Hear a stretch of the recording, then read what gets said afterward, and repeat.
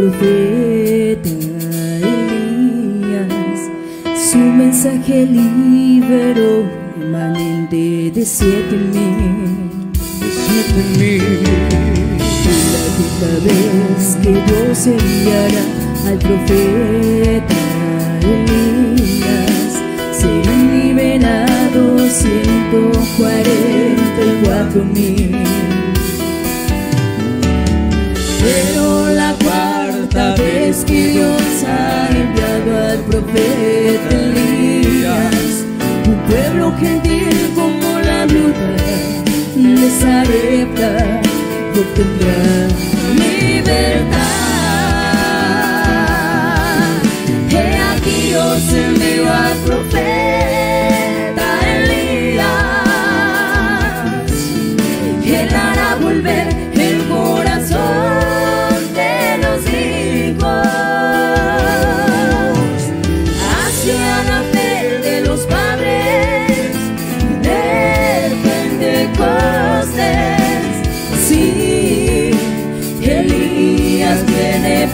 Primero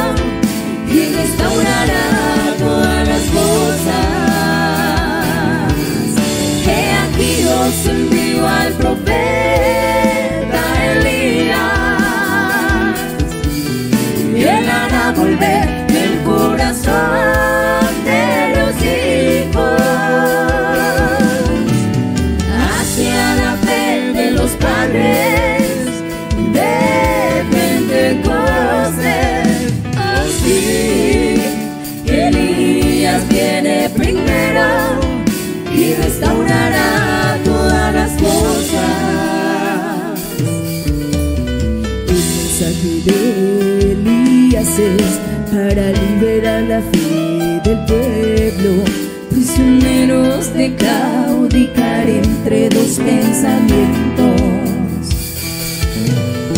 sacando de escena Nicolaísmo y Balamismo, y después de la gran sequía por causa de Acab y Jezabel, traerle regreso lluvia temprana y lluvia tardía.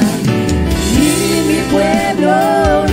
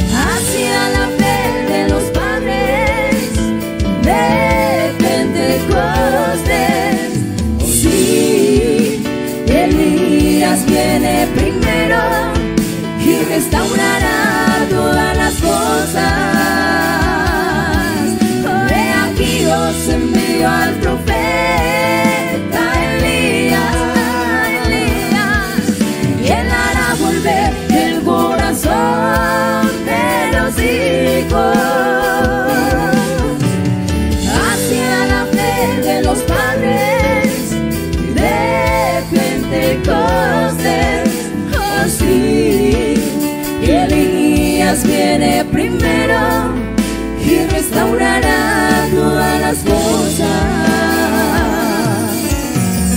La primera vez que Dios envió al profeta Elías y su mensaje liberó un remanente de siete mil.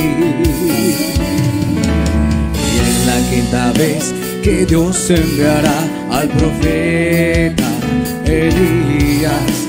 Serán liberados ciento cuarenta y cuatro mil.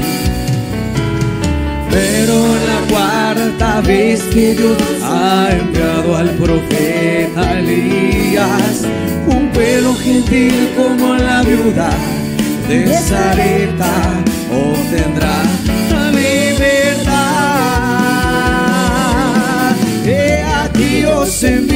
profeta Elías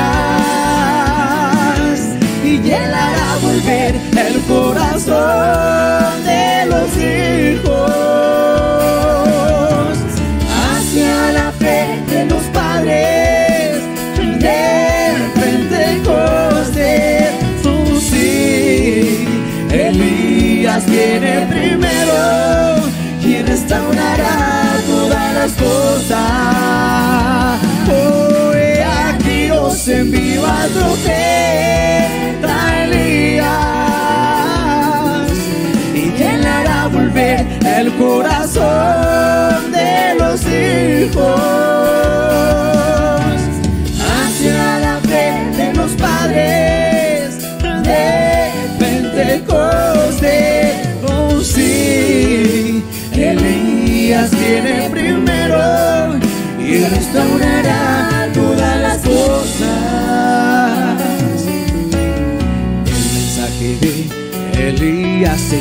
Para liberar la fe del pueblo, prisioneros de claudicar entre dos pensamientos. Sacando de escena al nicolaísmo y balamismo y después de la gran sequía por causa de Acab y que sabe traer de regreso lluvia temprana, lluvia tardía y mi pueblo nunca jamás será avergonzado. He aquí os envío al profeta Elías y él hará volver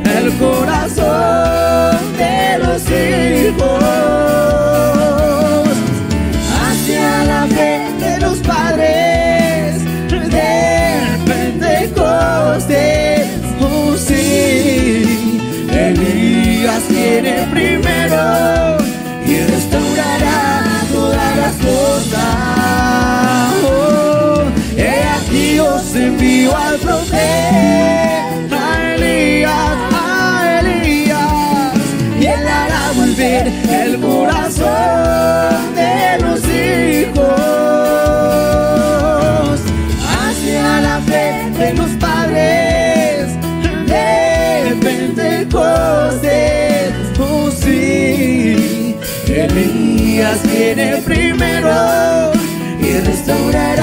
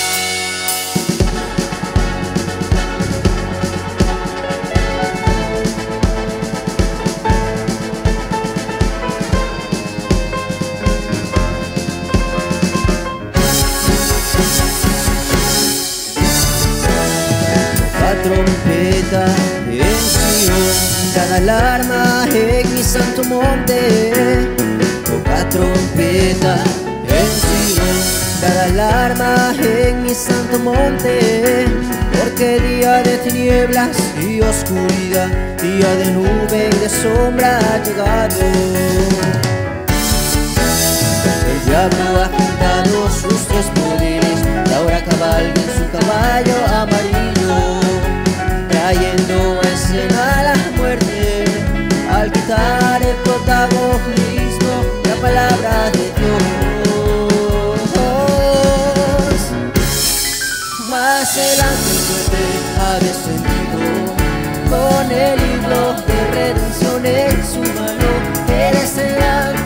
águila volando.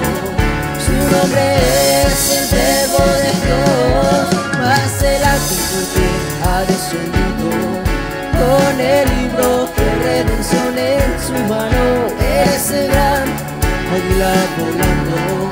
Su nombre es el verbo de Dios. Descendiendo con voz de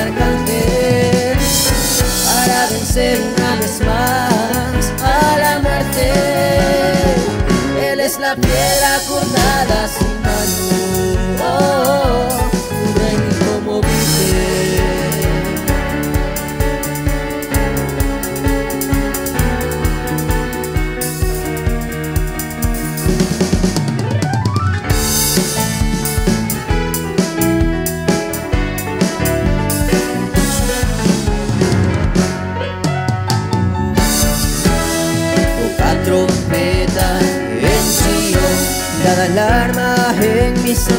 monte. Toca trompeta en Sion, das la arma en mi santo monte. El Cordero ha revelado el quinto sello y vimos el plan para destruir a Israel. El dragón después del segundo año de sus ejércitos contra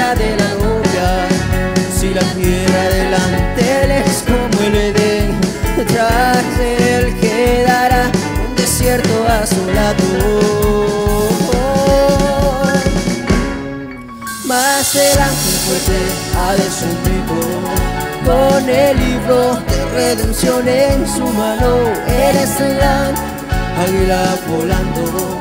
Su nombre es el verbo de Dios, mas el ángel fuerte ha descendido con el libro de redención en su mano. Eres el gran águila volando. Su nombre es el verbo de Dios, descendiendo con voz de arcángel para vencer una vez más a la muerte. Él es la piedra cortada sin mano,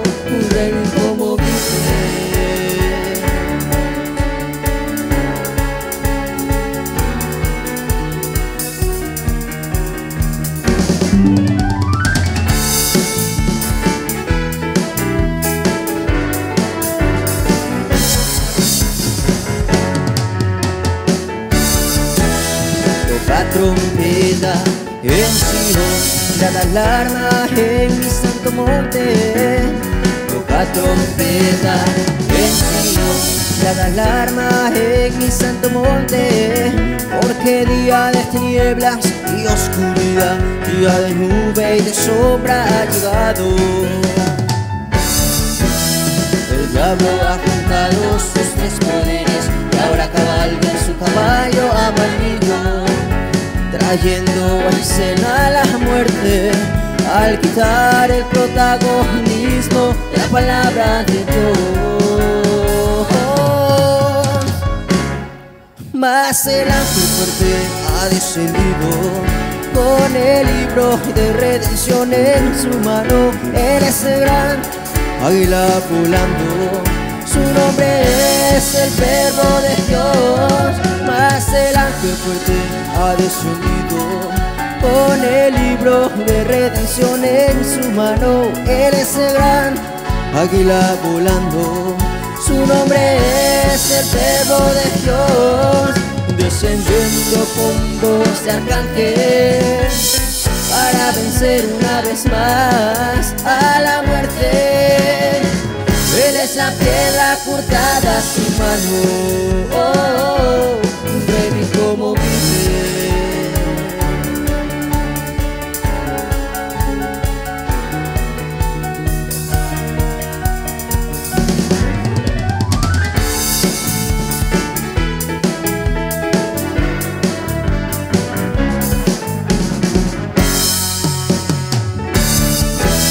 Toca trompeta Sion, da alarma en mi santo monte.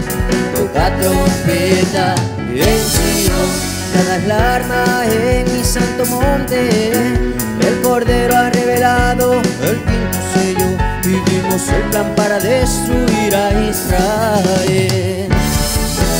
El dragón después del segundo de sus ejércitos en contra de la novia. Si la tierra delante de como el Edén, detrás de él queda un desierto asolado. El ángel fuerte ha descendido con el libro de redención en su mano. Eres el águila volando. Su nombre es el verbo de Dios. El ángel fuerte ha descendido con el libro de redención en su mano. Eres el gran águila volando, su nombre es el verbo de Dios, descendiendo con voz de arcángel para vencer una vez más a la muerte. Él es la piedra cortada sin mano, oh, oh, oh un reino incomovible será que fuerte ha descendido con el libro de redención en su mano. Eres el gran águila volando, su nombre es el verbo de Dios. Más el ángel fuerte ha descendido con el libro de redención en su mano. Eres el gran águila volando, su nombre es el verbo de Dios descendiendo con voz de arcángel para vencer una vez más a la muerte. Él es la piedra cortada sin mano. Oh, oh, oh.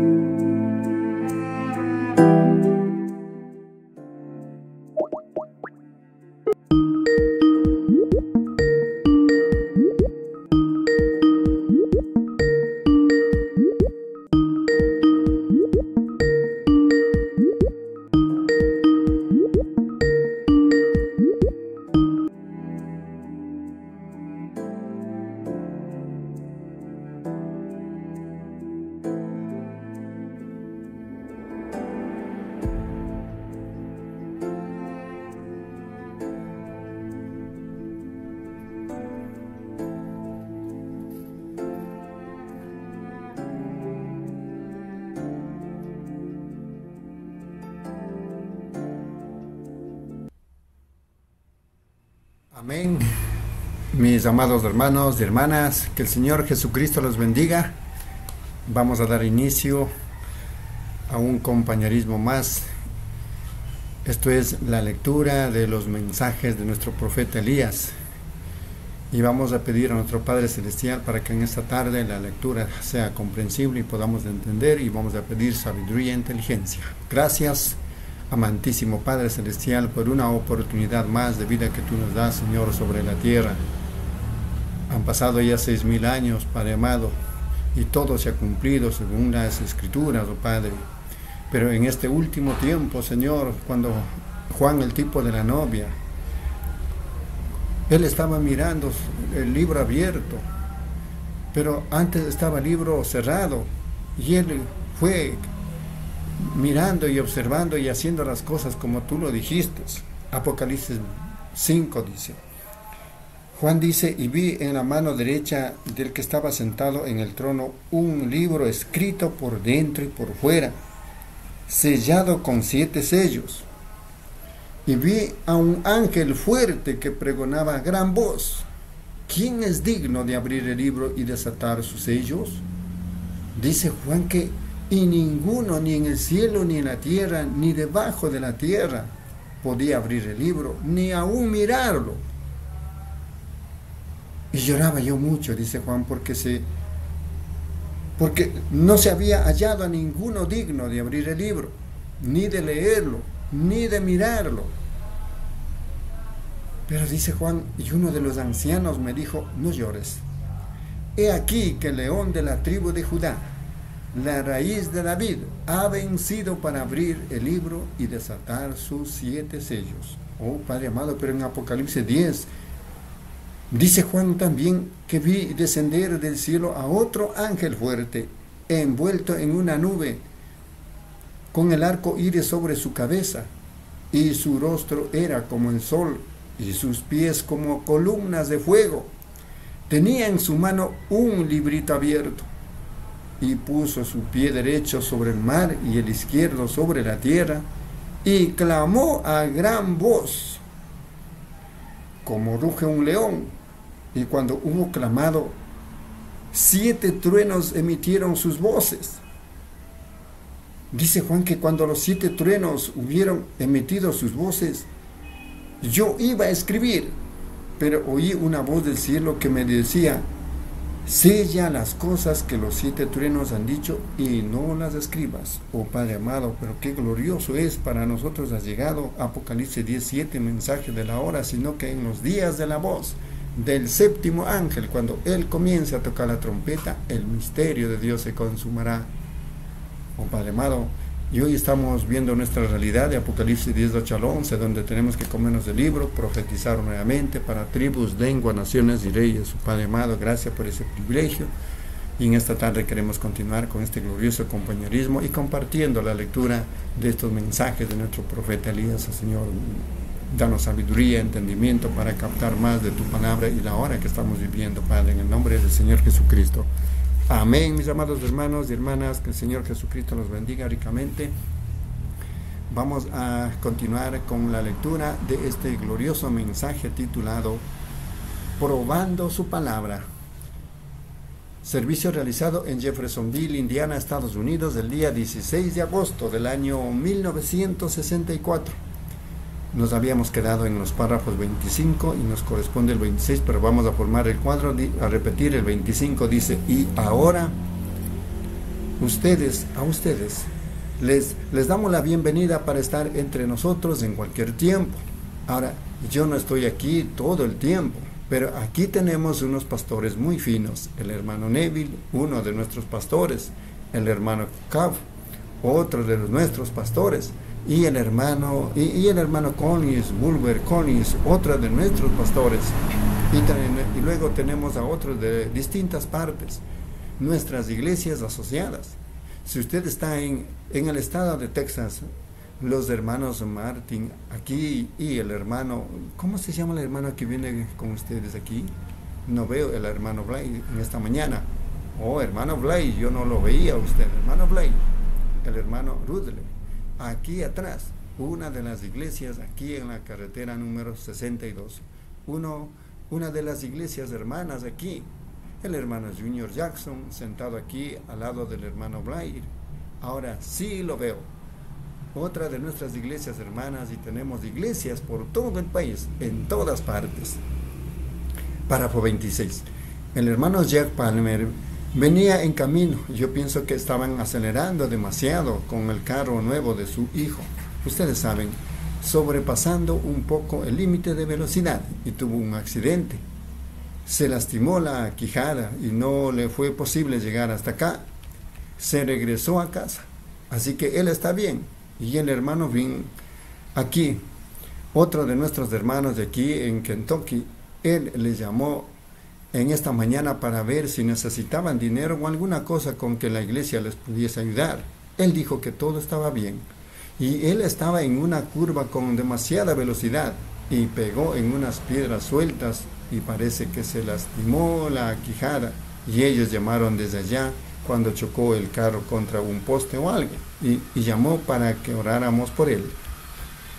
También al hermano Bill Collins, que se fracturó gravemente el dedo pulgar, se quebró el hueso y ellos tuvieron que arreglarlo, así que queremos recordarlo eh, a él en oración. Párrafo 27. Y ahora la razón de que nos ponemos de pie. Cuando rendimos homenaje al pasar la bandera o alguna cosa, siempre nos ponemos de pie y en atención o saludamos o cuando menos nos ponemos de pie para mostrar respeto a la nación, lo cual deberíamos hacer y a nuestra bandera. Entonces, ¿qué de nuestro Señor cuando estamos leyendo su palabra? Pongámonos de pie ahora mientras leemos en San Marcos capítulo 5 y comenzando con el versículo 21. Noten con mucho cuidado mientras leemos. Pasando otra vez Jesús en una barca a la otra orilla, se reunió alrededor de él una gran multitud, y él estaba junto al mar. Y vino uno de los principales de la sinagoga, llamado Jairo, y luego que le vio, se postró a sus pies y la rogaba mucho, diciendo, mi hija está agonizando, ven y pon tu mano, las manos sobre ella para que sea salva y vivirá. Fue pues con él y le seguía una gran multitud y le apretaban. Pero una mujer que desde hacía 12 años padecía de flujo de sangre y había sufrido mucho de muchos médicos y gastaba todo lo que tenía y nada había aprovechado, antes le iba peor. Cuando oyó hablar de Jesús, vino por detrás entre la multitud y tocó su manto, porque decía, si tocare tal tan solamente su manto, seré salva. Y enseguida la fuente de su sangre se secó y sintió en el cuerpo que estaba sana de aquel azote. Luego Jesús, conociendo en sí mismo el poder que había salido de él, volviéndose a la multitud, dijo, ¿quién ha tocado mis vestidos? Sus discípulos le dijeron, ¿ves que la multitud te aprieta y dices, ¿quién me ha tocado? Pero él miraba alrededor para ver quién había hecho esto. Entonces la mujer, temiendo y temblando, sabiendo lo que en ella había sido hecho, vino y se postró delante de él y le dijo toda la verdad. Y él le dijo, hija, tu fe te ha hecho salva. Ve en paz y queda sana de tu azote. Mientras él aún hablaba, vinieron de casa del principal de la sinagoga diciendo, tu hija ha muerto ¿para qué molestas más al maestro? Pero Jesús, luego que oyó lo que se decía, dijo al principal de la sinagoga, no temas, cree solamente. Y no permitió que le siguiese nadie sino Pedro, Jacobo y Juan, hermano de Jacob. Y vino a casa del principal de la sinagoga y vio el alboroto y a los que lloraban y lamentaban mucho. Y entrando les dijo, ¿por qué alborotáis y lloráis? La niña no está muerta, sino duerme. Y se burlaban de él. Mas él, echando fuera a todos, tomó al padre y a la madre de la niña y a los que estaban con él, y entró donde estaba la niña. Y él le dijo a la niña, y él, perdóneme, y tomando la mano de la niña le dijo, Talita, Kumi, que traducido es niña, a ti te digo, levántate. Y luego la niña se levantó y andaba, pues tenía 12 años. y se ah, espantaron grande- grandemente. Pero él les mandó mucho que nadie lo supiese y dijo que se le diese de comer. Para el joven Yocho. En el libro de Primera de Reyes, el capítulo 10, leemos estos tres versículos. Oyendo la reina de Sabá la fama que Salomón había alcanzado por el nombre de Jehová, vino a probarle con preguntas difíciles. Y vino a Jerusalén con un séquito muy grande, con camellos cargados de especias y oro en gran abundancia y piedras preciosas. Y cuando vino a Salomón, le expuso todo lo que en su corazón tenía.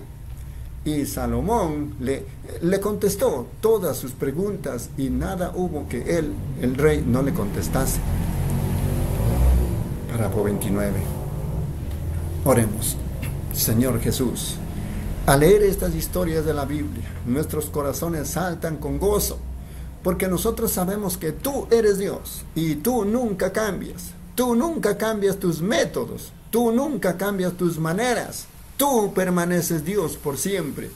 Y rogamos Dios que en esta mañana tú nos traigas la interpretación de estas escrituras que tú quieres que conozcamos, que así nuestros corazones sean discernidos, que el gran Espíritu Santo venga entre nosotros hoy y discierna nuestros pensamientos y nuestros corazones. Y que no deje nada, que nuestros corazones no que estén tan llenos de gozo cuando nos vayamos de aquí, que digamos como aquellos caminantes de Amaús aquel, aquella noche, no ardía nuestro corazón cuando Él nos hablaba en el camino. Tú siempre permaneces Dios y nosotros somos tus hijos hambrientos que nos hemos reunido en esta mañana, porque escrito está, el hombre vivirá de toda la palabra que procede de la boca de Dios. Bendícenos al habernos congregado y toda esta gente, Señor, que ha venido de centenares y sí, de miles de, de, millas. Oramos que mientras regresen a sus hogares, que sus corazones estén satisfechos con las cosas buenas de la misericordia y gracia de Dios, porque lo pedimos en el nombre de Jesús. Amén. Párrafo 30. Un texto muy pequeño, un texto pequeño y muy raro tres palabras de las cuales quiero hablar de toda esta lectura. Ustedes quizás dirán, esa es una cosa muy pequeña, tres palabras de todo eso que usted ha leído, una porción de dos capítulos de la Biblia, pero yo, yo hice eso para fijar el fondo, para tomar esas tres palabras, probando su palabra.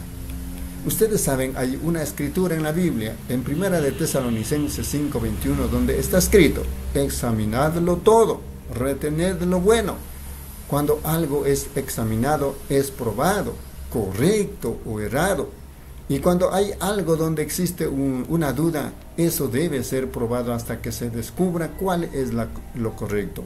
Y luego al descubrir lo correcto, allí dijo, retened. En otras palabras, agárrenlo. No lo suelte, reténgalo. En otras palabras, reténgalo con fuerza para que no se le escape. Retenga aquello que es bueno después que ha sido probado correcto. Y cualquier cosa que ha sido probado incorrecta, suéltela tan pronto como pueda, apártese de ella, nunca se aferre a lo errado. Párrafo 31. Ahora, es posible que cristianos leales, gente fina, a veces se aferren, se aferren a lo errado, pensando que es correcto. Pero luego estas cosas deben ser probadas para ver si están correctas o erradas. Y es el deber de todos nosotros, ya que estamos bajo la expectativa de subir al cielo cuando Jesús venga. Y es el deber del ministro cuando alguna cuestión es presentada que él la, resuelva y luego la apruebe ante el pueblo, que así ellos puedan entender, porque nadie desea estar errado. Agarre, agárrense de lo errado, agarrándose de lo errado, perdón. Así que tenemos una escritura y Jesús dijo, toda escritura debe ser cumplida, que debemos probar todas las cosas y luego retener o agárrese fuertemente, agárrelo como si fuera entre vida y muerte y no lo suelte, retenga aquello que es correcto. Párrafo 32. Yo me acuerdo que aprendí algo en la escuela y muchos de ustedes aprendieron la misma lección cuando uno ha solucionado un problema, lo ha resuelto, uno puede tomar la respuesta y comprobarla por el mismo problema. ¿Cuántos han hecho eso? Todos, por supuesto. Entonces, entonces uno no tiene que estar preocupado de que si su respuesta está bien o no. La respuesta del problema ha sido comprobada por medio del problema mismo. Por lo tanto, uno sabe que tiene la respuesta correcta. Si cada uno de los suyos en su pizarra o en su hoja ha sido probado, el problema comprobado por medio de la, respuesta comprobada por medio del problema, entonces usted la tiene. Nadie puede decir que está errado. Uno tiene que obtener. Y si usted hace su trabajo nítido y correctamente y de la manera que debe ser hecho y sus respuestas han sido comprobadas, usted puede descansar con la aseguranza que va a, a recibir un 10 en eso, en esa hoja de papel que usted ha entregado porque han sido comprobadas, comprobadas por medio del problema. Párrafo 33. Ahora, también existe un proverbio antiguo que dice, pruébalo y yo lo creeré. Ahora, tienen una, un, un, estado, uno de los estados de, en nuestra nación, que tiene este lema. Yo soy de Missouri, muéstramelo. Ve, en otras palabras, pruébamelo. Yo soy de Missouri pero esto no, siempre funciona por cuanto Dios en, en, toda edad ha cumplido y ha probado la obra que Él ha designado para cada edad y la ha hablado en su palabra. Y cada vez que la palabra de Dios ha sido probada en cada edad, la mayoría la ha rechazado. Entonces, pruébamelo y yo lo creeré. No es cierto. Usted solo puede tener fe a medida que Dios le da fe. Fe es una dádiva de Dios por más religioso que usted sea, sin embargo, usted necesita, la, usted necesita tener fe. Y si usted es un cristiano, su fe solamente puede descansar en la palabra comprobada de Dios. Amén. Párrafo 34. Ahora recuerden, Dios asignó su palabra a cada edad y anunció lo que sucedería en cada cierta edad de la cual él estaba hablando. Ahora, si Moisés hubiera llegado con el mensaje de Noé, eso no hubiera funcionado. Si Jesús hubiera venido con el mensaje de Moisés, eso no hubiera funcionado. O si cualquier profeta hubiera venido con el mensaje de otro profeta, eso no hubiera funcionado. Pero a través de sus profetas, Él ha revelado la totalidad de sí mismo y de su plan. Por lo tanto, la Biblia no se le puede añadir ni quitar una sola palabra. Entonces, si usted comprueba su problema por medio de su, respuesta, por medio de su problema, entonces, ¿por qué no probamos la, la respuesta que estamos recibiendo ahora por medio de la palabra de esta edad? Si la Biblia habla y dice que cierta cosa habría de acontecer en esta edad, eso está en la Biblia y acontecerá. Luego, si la respuesta que usted está intentando relatar al pueblo, si eso está probado por el libro, entonces es verdad, es verdad. De otra manera, no es. Amén. Gloria a Dios. Amén, mis amados hermanos y hermanas. Es de gran privilegio para nosotros de estar viviendo en este día especial y conociendo estos mensajes. Estamos compartiendo en esta hermosa tarde este glorioso mensaje titulado Probando su palabra. Mensaje predicado en Jeffersonville, Indiana, Estados Unidos, el día 16 de agosto del año 1964. A continuación, hermana Reina, en los párrafos 36 al 45.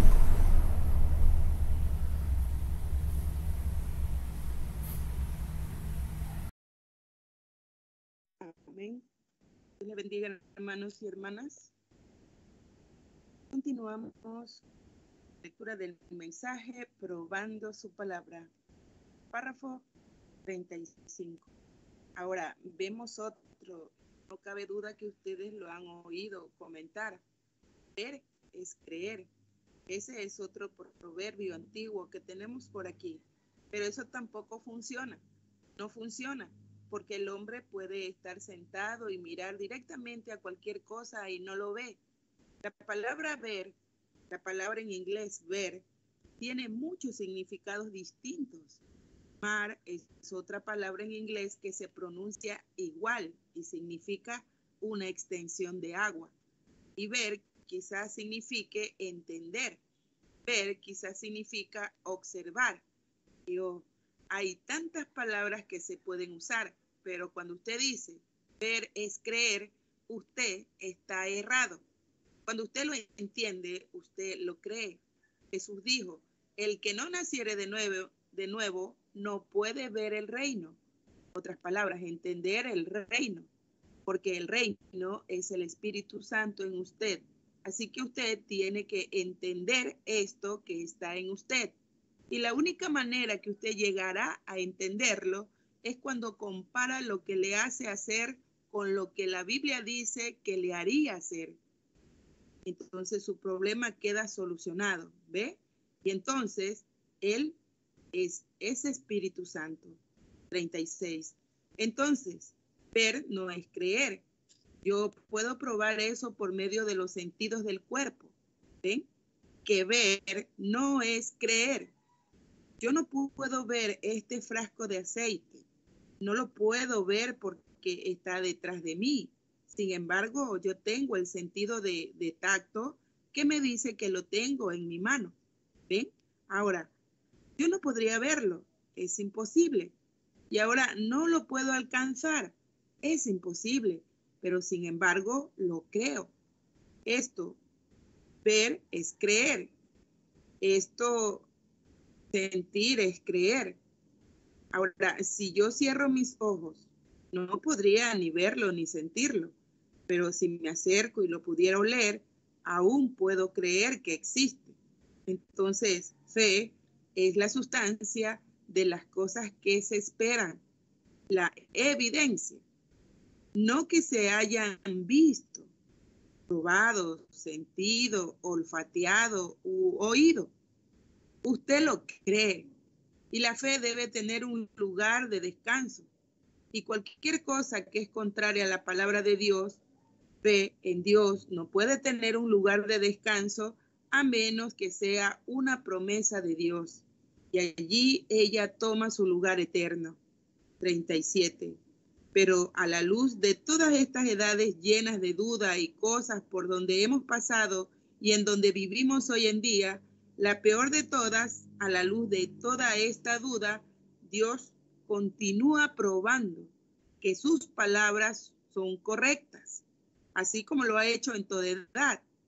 La incredulidad no detiene a Dios no le estorba a él. No me importa a qué grado no le cree el mundo. Aún va a acontecer. Incredulidad no hace más que condenar al incrédulo. La incredulidad llevará al incrédulo al infierno. Le robará toda bendición que Dios le ha prometido, pero a la vez no impide que Dios continúe obrando con el creyente. ¿Ven? La incredulidad no detiene a Dios solamente detiene al incrédulo. Usted dirá, yo, el, el sol no va a brillar mañana, yo lo voy a detener. Inténtelo. ¿Ven? Muy bien, usted no lo puede hacer. Dios lo ha puesto en orden y ha dicho que brillaría. Y brillará, eso es todo. Amén. Él dijo que así sería. Pudieran haber algunas nubes que lo tapen, pero de todas maneras está brillando. Y usted no puede detener a Dios con eso. El que, ¿cómo, cómo da Él a conocer su palabra al pueblo? Primeramente, Dios, ya conociendo que habrían incrédulos, ahora vean la sabiduría de Dios, sabiendo que habrían incrédulos y cómo la mayoría serían incrédulos, Él, por medio de su previo conocimiento, predestinó una simiente para cada edad que sí la creería. Ahora, si ustedes notan, cada edad continúa con su palabra, todo a tiempo. Nada impide a Dios. Él sigue adelante y todo está engranando perfectamente bien.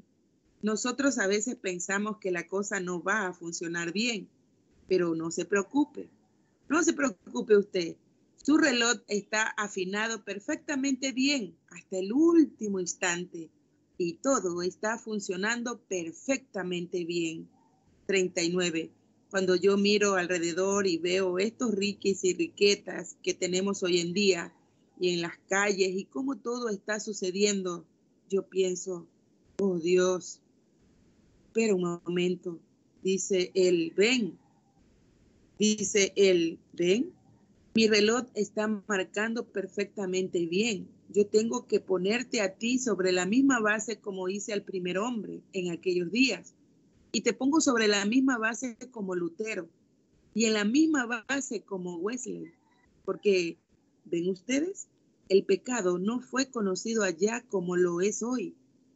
Y cuando tenemos más conocimiento hoy que lo que teníamos entonces, y cuando entra el enemigo como un río, el Espíritu de Dios levantará bandera en contra de él.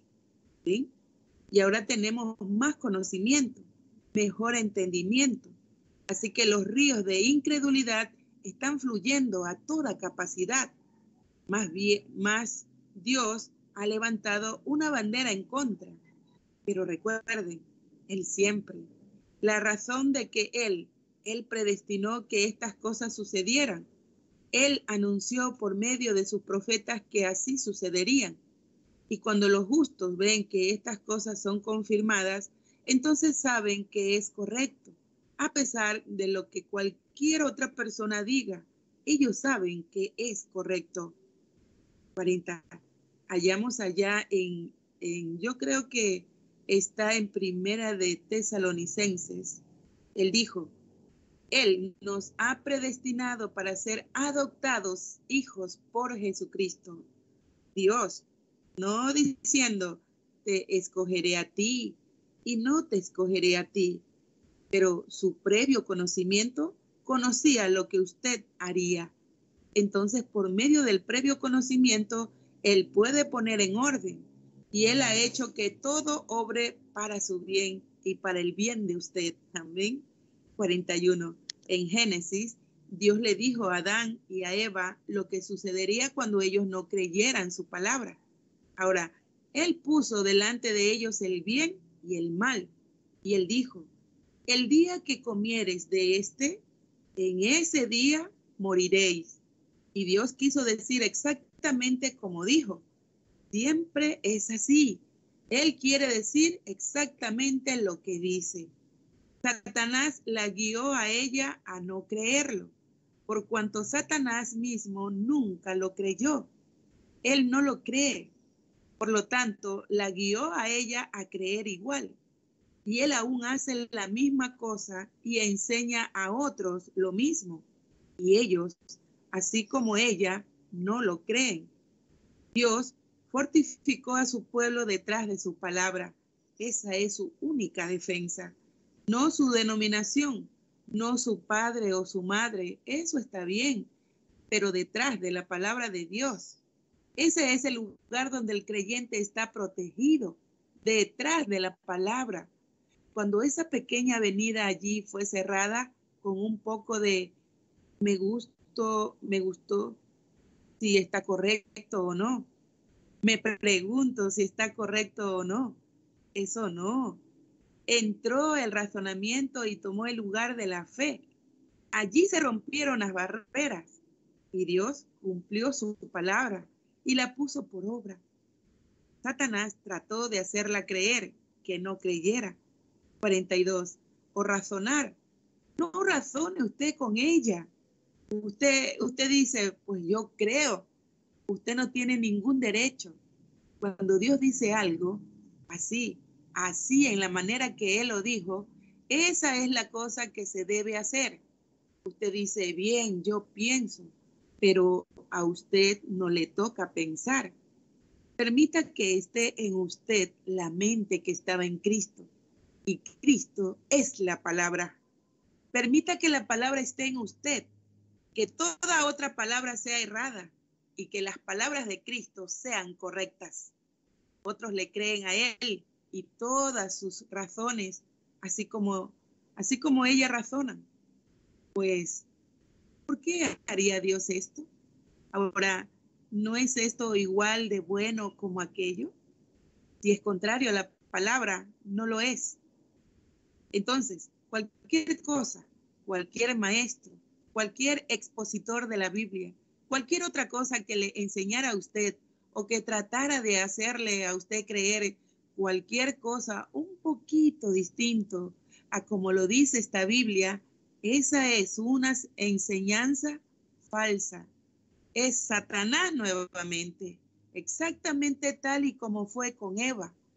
Dios sigue adelante, no importando lo que él hace, lo que hace Satanás Dios sigue adelante probando que esto es la verdad. 43. Ahora miren lo que él le dijo a Eva. Seguramente no morirás será sabia. Eso es lo que está buscando el mundo hoy. Pruebas científicas, conocimiento de algún hombre. Y él dijo, seguramente no morirás. Pero Dios había dicho, morirás. Y Dios se los probó. Y podemos ver que él quiso decir así como dijo. Vaya usted aquí al, cementerio. Usted podrá ver si él quiso decir así o no. El día que de este comiereis, ese día moriréis. Y cuando usted va aquí y revisa cualquier tumba que desea de personas de cualquier edad, nunca ha habido un hombre que viviera mil años. Dios probó que su palabra era verdad. Él lo hará cada vez. 44. Pero recuerden, Él cumple todas sus promesas de bendición, así como cumple las de maldición. Por cuanto ellos comieron de allí, ese día murieron. Y Él se lo prueba a usted, que en realidad mueren el día que de allí comen. Él también cumple toda palabra que Él habló en cuanto a sus bendiciones. Dios cumple toda promesa. Oh, yo amo eso. Usted tiene que escoger cuál desea. Sus bendiciones al creer, o sus maldiciones al pervertir la palabra. Si usted la pervierte y cree el lado pervertido, entonces usted es maldito. Si usted la cree así como él la escribió y se mantiene firme con ella, entonces usted es bendecido. Y ella siempre es contraria a la ciencia, siempre contrario a, a la manera científica del pueblo de mostrar las cosas, por cuanto él cumple toda palabra, tanto sus bendiciones como sus maldiciones. 45 cuando hombres y mujeres pecaron en el mundo antidiluviano, él en contra de su palabra verdadera. Adán y Eva pecaron en contra de su palabra verdadera, pero y todas las generaciones que le siguieron hicieron la misma cosa. Él pronunció muerte sobre ellos y por fin llegó a una completa y total aniquilación de todo sobre la tierra. Todo fue cubierto por el agua la lavó completamente con agua. Ahora, el mismo Dios que trajo una total aniquilación de todo sobre la tierra, toda hierba, toda criatura, aparte de aquello que Él reservó y elevó sobre la tierra, todo aquello que Él prometió hacer, lo hizo. Y el mismo Dios que prometió el agua y cumplió su palabra, el mismo Dios promete fuego y Él cumplirá su palabra. Él cumplirá, cumplirá su palabra. Amén. Dios le bendiga, mis hermanos. Amén, hermana Reina. Dios le bendiga. Estamos compartiendo en esta hermosa tarde este glorioso mensaje titulado Probando su palabra, servicio realizado en Jeffersonville, Indiana, Estados Unidos, el día 16 de agosto del año 1964. Continuando con la lectura, en los párrafos 46 dice, ahora, Ahora, ¿qué hizo él? ¿Cómo conocieron ellos su palabra? Porque siempre su forma de hacer las cosas, de probarse a sí mismo antes de que él haga el daño y antes de que envíe el juicio, él siempre envía la palabra al pueblo y siempre advierte al pueblo. Oh, yo amo eso. Entonces nosotros podemos ver exactamente dónde estamos. Había toda clase de ministros y asociaciones en los días de Noé. Había toda clase de religiones en los días de Noé, porque Jesús dijo, así como fue en los días de Noé, así también será en la venida del Hijo del Hombre. Pero llegó a la escena un profeta y él comenzó a hacer algo, comenzó a construir un arca. Y Dios envió su profeta Noé para probar que él había enviado su palabra y para decirles que venía una destrucción, que él ya no podía aguantar la manera que, que la gente estaba viviendo y que él tenía que destruir al hombre que él en una ocasión había creado. 47. Ahora la palabra vino al profeta, como siempre. Él nunca cambia. Malaquías 3 dice, yo soy Dios y yo no cambio. Noé fue enviado a una edad científica con un mensaje no científico. Noé fue enviado a una edad intelectual con un mensaje no intelectual. él fue enviado a una edad de ciencia, teniendo él un mensaje de fe y promesa para que una edad científica. Así que, ¿podría usted creer que una edad científica creería en un mensaje no científico? Una edad de gran intelecto y luego, ¿creería usted que ellos tendrían fe en algo que parecía absolutamente absurdo para la mente humana? Pero Dios siempre lo hace de esa manera. Noé fue un profeta confirmado del Señor y era el mensaje de Dios para la hora. Él tenía que creer que el pueblo tenía que creer su mensaje después de que él había sido confirmado por el Señor, que en realidad era la palabra de Dios y Dios habría de cumplir su palabra. 48. Ahora es lo mismo hoy en día. Nosotros estamos en el tiempo del fin. Ahora, aquella gente debiera haber conocido, ven, Ahora ustedes notaron que Noé fue un tipo de los judíos que serán llevados a través de la tribulación. Enoch fue un tipo del, del verdadero mensaje, de la traslación de la iglesia, porque Enoch fue arrebatado y luego vino el diluvio. Y ambos, el primer profeta Enoch fue quitado para que así Noé pudiese continuar con su, con su, Dios pudiese continuar con Noé y ahora la iglesia será arrebatada para que Dios pueda lidiar nuevamente con los judíos, el remanente de los judíos, los 144 mil, así como lo hemos visto aquí en las escrituras. Amén, gloria a Dios. Párrafo 49.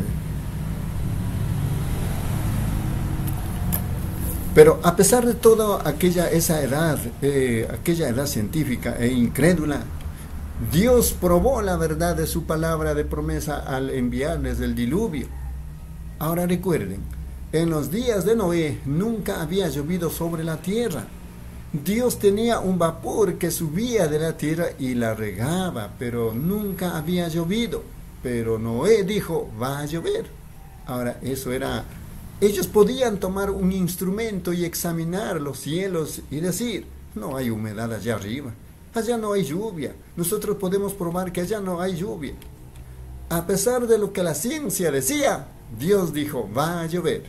Y con eso pues, queda concluido. Ahora, ¿qué hizo Dios?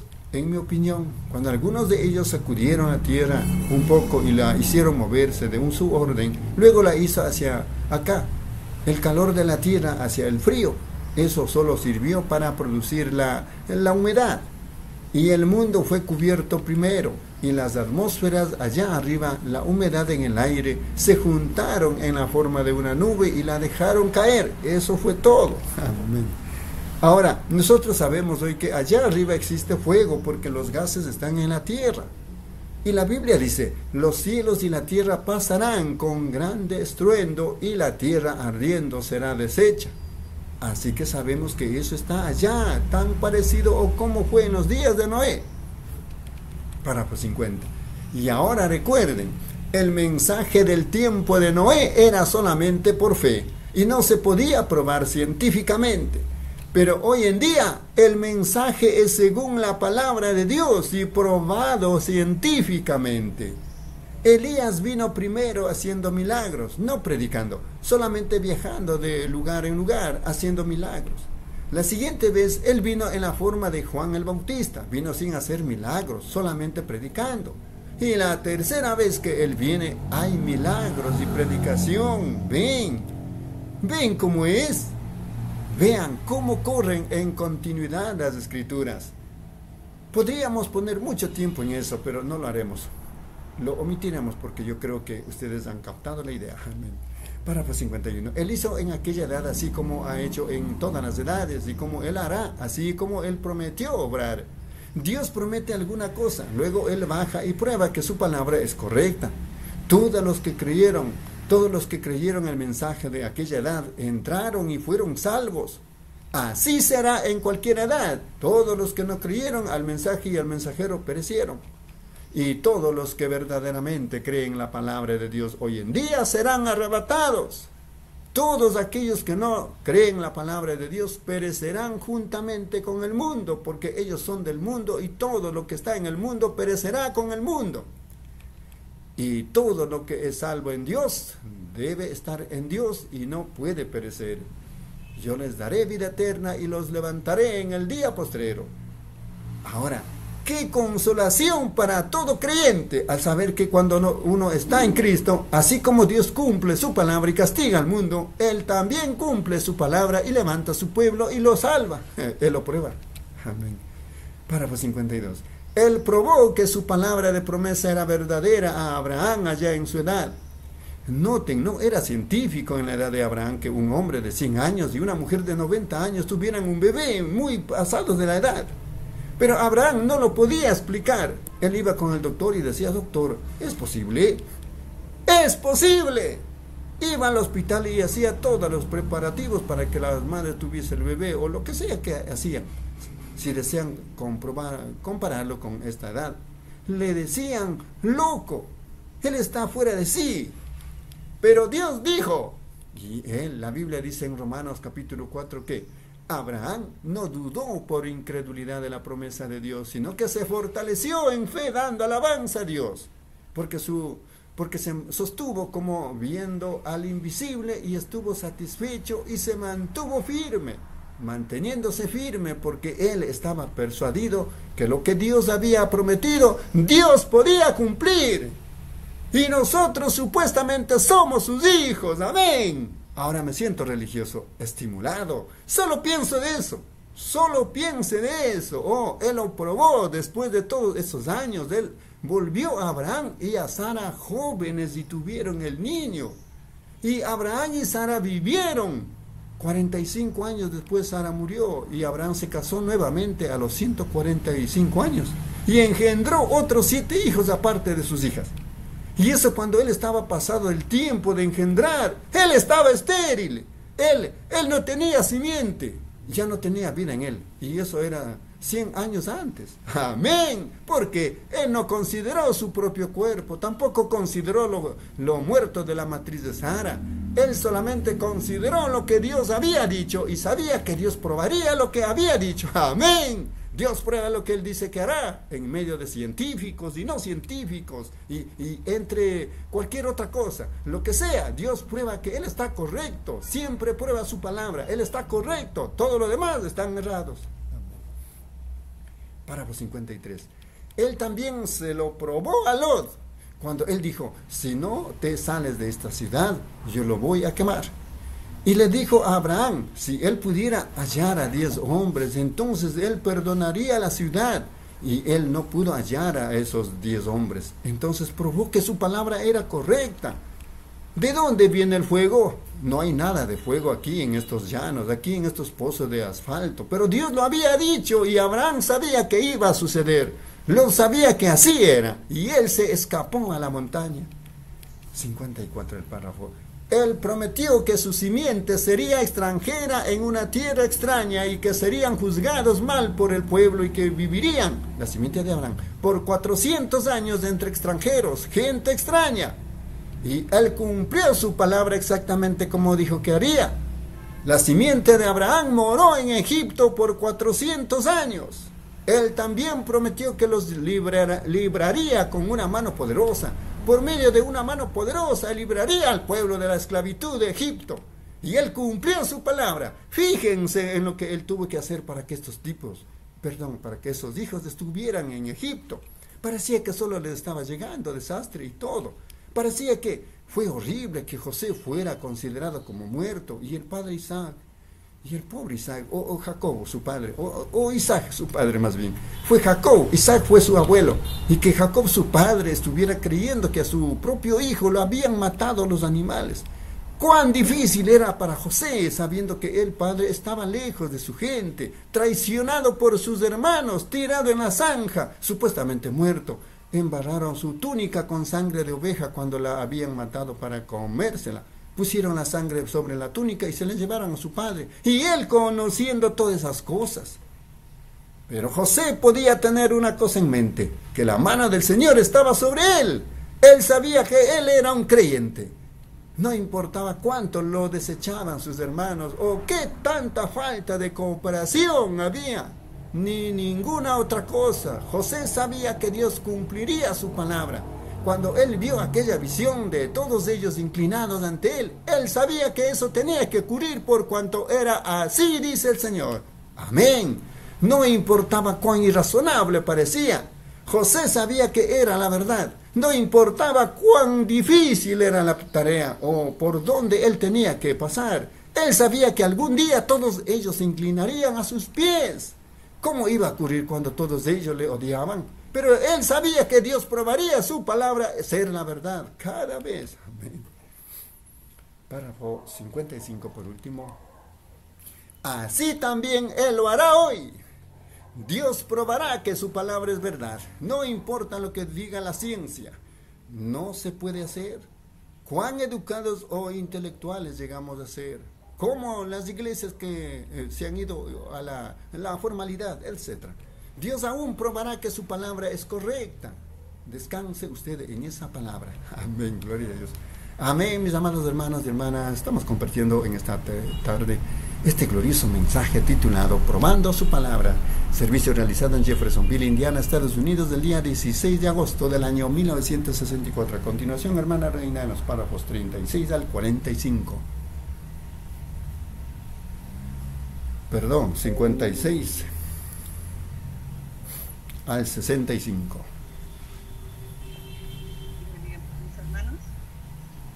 Continuamos con la lectura del mensaje probando su palabra. Párrafo 56. Sí, José tuvo que pasar por mucho para llegar hasta Egipto, pero Dios lo liberó exactamente como él había dicho. Hermoso tipo de hoy día, si tuviéramos tiempo de verlo. Yo creo que hemos pasado por eso antes aquí en el tabernáculo, pero Dios cumplió su palabra, porque ellos tenían que quedarse allá. Fue difícil para aquellos hebreos allá en la esclavitud de Egipto, los cuales habían sido bendecidos y se les había dado el fruto de la tierra, el mejor lugar. para luego hallar que tenían que llegar a ser esclavos y para aquellas madres que tenían que entregar en manos de algún soldado egipto el fruto de su vientre, su amado niño, y verlo tomar un tremendo cuchillo y partirlo y tirarlo al suelo como alimento para los cocodrilos. Ahora, fue una cosa muy difícil para ellos tener que pasar por eso, pero un día nació la simiente predestinada, un niño que era un niño hermoso, había algo respecto a él que parecía extraño. Día, en la parte de atrás del desierto, el Espíritu Santo bajó en la forma de la columna de fuego y se postró en una zarza y dijo, yo he oído los clamores de mi pueblo y yo me acuerdo de mi promesa y el tiempo de la liberación está a la mano y te estoy enviando a ti para que lo hagas con una vara en la mano, su esposa sobre la mula y cargando un niño. Él lo hizo por medio del poder del Dios Todopoderoso. La cosa más ridícula, que sería, que sería una vara torcida frente a diez mil lanzas. Pero ven ustedes, Dios está en eso. Todo depende en dónde está su palabra. Moisés tenía su palabra, Faraón tenía lanzas, Moisés tenía la palabra. Eso es todo lo que él necesitaba, la palabra. Eso es todo lo que usted necesita hoy. No es la credencial de alguna iglesia. Usted no necesita que lo respalde alguna denominación. Usted necesita la palabra para subir en el rapto. Usted no necesita alguna credencial. Usted no necesita alguna larga historia de alguna escuela para ser sanado en esta mañana. Usted necesita aceptar la palabra. Eso lo hace. Usted no necesita la palabra del médico. Si el médico dice que ha hecho todo lo posible, eso es todo lo que él puede hacer. Si él dice que usted tiene cáncer, tumor, se está volviendo ciego, está sordo, mudo, lo que sea, eso no importa. Si usted pudiera llevar la palabra de promesa allá a la zarza ardiente, amén, algo va a suceder. Dios probará que su palabra es verdad. cada vez que se recibía, que es recibida en tierra buena. Eso es lo que usted está necesitando, su palabra. Él la prueba, Él la cumple. Usted puede estar confiado que es correcta. 58. Él prueba su palabra en cada edad de la forma más extraordinaria, pero Él siempre lo hace de la misma forma. ¿Ven? ¿Qué hizo Él en los días de Noé cuando estaba a punto de liberar a aquel remanente? Él les envió a Noé, el profeta. Él envió a Noé una señal. Y ahora note, cuando él vino para liberar a los hijos de Israel, ¿qué hizo? Obró de la misma manera.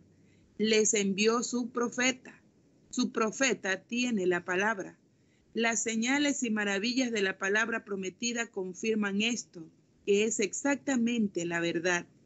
Israel salió rumbo a la tierra prometida por cuanto lo creyeron. 59. Y en la jornada a través del desierto, llegó a suceder que no creyeron a este profeta después de haber visto la confirmación de la palabra. La novia perdió el paso. Ustedes saben de lo que estoy hablando en la visión. Perdió el paso. Allí estaban parados unos de nombre Josué y Caleb y estos creyeron que la palabra de promesa era fiel, sin importar, sin importar cuáles fueran las circunstancias. Fíjense, cuando estos llegaron a Cades Barnea, en Cades Barnea Moisés envió uno de cada tribu para que fueran a espiar la tierra y para saber por dónde habrían de entrar. Y él envió a su general Josué el cual era un profeta. Así que él envió a este que era profeta menor bajo Moisés. Y Josué le puso atención a Moisés. Así los enviaron. Y él dijo, vayan allá y espíen la tierra. 60. Y el general fue y escogió un hombre de cada tribu y se fueron.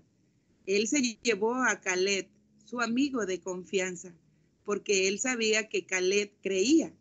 Ellos fueron a la tierra prometida y regresaron con un racimo de uvas que apenas se podía cargar entre dos hombres. ¿Ven? Entonces él dijo, para que Israel tenga la evidencia aún antes de entrar a la promesa, ¿ven? Tendrán la evidencia de que Dios dijo que es una tierra buena y está llena de leche y miel. Es una tierra grande es una tierra buena. Ahora sus todo este ajo, puerros y lo que tienen aquí en Egipto, ahora los llevamos a una tierra de leche y miel. Quizás nunca hayan probado ni leche ni miel allá en Egipto por todos esos años. Solamente les daban la ración de esclavos. Pero ahora van a entrar a esta tierra entonces, cuando estaban como a un día de viaje allí en Cades Barnea, donde era el gran trono de juicio del mundo, allí se detuvieron bajo estas, estas grandes palmas, los pozos de agua, y allí acamparon.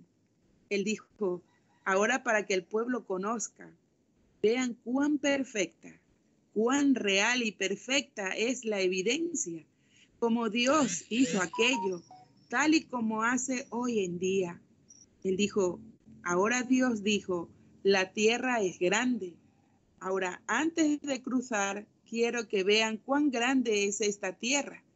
Así que traigan ustedes algo de evidencia de la tierra para mostrarla al pueblo. 61. Entonces ellos llegaron allá y ahora siempre cuando uno va para traer evidencia, allí estará el enemigo en el camino. Cuando algunos de estos hombres miraron y vieron a los gigantes de Canaán, oh hermanos, ellos dijeron, no lo podemos hacer, pero trajeron la evidencia de que existía la tierra. No habían sido guiados falsamente. Dios les estaba probando su palabra aún antes de que entraran a la tierra. No pueden ver ustedes hoy que si viajan por mil millas para escuchar la palabra y ven que es probada y confirmada que esa es la evidencia de que es, un, es una gran tierra, pueden observar lo que apenas es la sombra de un hombre acostado, muriéndose de cáncer, sea sano. Y vemos las palabras de Dios, las cuales Él habló, que sucederían en este día, siendo confirmadas. Esa es la evidencia de que Él guarda su palabra. Existe una gran tierra. Si mi vida casi ha desaparecido y luego Dios baja y la restaura nuevamente, eso muestra que existe una evidencia de vida eterna. Amén. Cuando en una ocasión ustedes no hubieran pasado por la puerta de la iglesia, mas ahora hacen fila para entrar. Esa es una evidencia. Dios guarda su palabra y la prueba a ustedes que sí es verdadera. 62. Viajan por miles de millas Vienen aquí por la madrugada y vi a gente alimentando a sus niñitos de una botella de Coca-Cola, un poco de cereal, como a las 5 de la mañana, sentados allí esperando. Yo pensé, Dios, yo sería el hipócrita más bajo de todo el mundo al dejar que esa gente viajara a esa distancia y luego decirles algo que fuera errado, porque yo siento por ellos mi corazón late por ellos. Ellos están hambrientos y sedientos por Dios. Señor, ayúdame a decirles la verdad o quítame de este mundo. Déjame decirles a esa gente la verdad, así Dios me salve. Yo dije, tómame de la mano y déjame saber lo que es la verdad. Y luego respalda eso con una confirmación que lo que yo dije fue la verdad para que así conozcan que esto es la verdad. No permitas que esa pobre gente sea engañada, no. ¿Cómo me toca eso el corazón al ver gente fiel? 63. Yo me imagino que Josué pensó la misma cosa. Aquel día cuando él los reunió y los vio lavando su ropa y alistándose para el tercer día. Sí, él lo probó. Ahora, ¿Qué dijo Josué? Cuando ellos dijeron, oh, no lo podemos hacer, simplemente no se puede hacer, tendremos que dejar nuestra organización. Estamos, estamos, estamos aniquilados. ¿Ven? Ahora, no lo podríamos hacer. Simplemente no podemos hacer esto porque no es razonable. Y cuando Josué los guió allá, fue en el mes de abril cuando las aguas estaban más crecidas y el Jordán estaba casi igual de ancho como el río Ohio. Parecía que Dios había cometido un gran error. Ustedes saben, a veces uno se pone muy enfermo y dice, bueno, yo soy un cristiano. Dios, Él, Él cometió un error. Él permitió que yo me enfermara y yo soy un cristiano. Pero no se dan cuenta que la Biblia dice que todo obraría para bien para aquellos que aman a Dios? 64. Allí donde Josué los guió, ahora el Jordán se pone muy bajito. Uno puede atravesarlo en esos lugares fácilmente, a menos que se meta a un hoyo de agua donde sería profundo. Se puede. Y con los vados y cosas que hay allí cerca de las riberas de, donde está Jericó, pues es, pues uno puede pasar por allí. No llega ni a la rodilla. Se puede cruzar en un jet, en un jeep. Se puede manejar, se puede cruzar montado, caminar o de cualquier forma. Pero él los guió allí en el tiempo de abril, cuando toda esa tierra estaba inundada por casi una milla de ancho. El agua probablemente tenía 30 a 40 pies de profundidad. Y él dijo, al tercer día cruzaremos. Así ha dicho Dios, reúne al pueblo y santifícalos, porque al tercer día pasarán por el Jordán. ¿Pueden ver cómo Dios permite que eso acontezca? Solamente para hacer que el pueblo, para sacar a su pueblo. ¿Qué hicieron? Ellos se santificaron y se alistaron sin importar cuán profunda fuera el agua o cuán lodosa fuera y cuán veloz fuera la corriente. ¿Ven? Ellos sabían que Dios probaría su palabra. No importa qué, ni cuán cercano esté usted al Jordán. No importa cuáles sean sus circunstancias. Si usted solamente puede mantener en su corazón la promesa de Dios, Dios la probará, que así es. En medio de toda incredulidad, Él aún probará que es verídica. Sí, Él lo hace. Y las circunstancias no lo detienen a Él.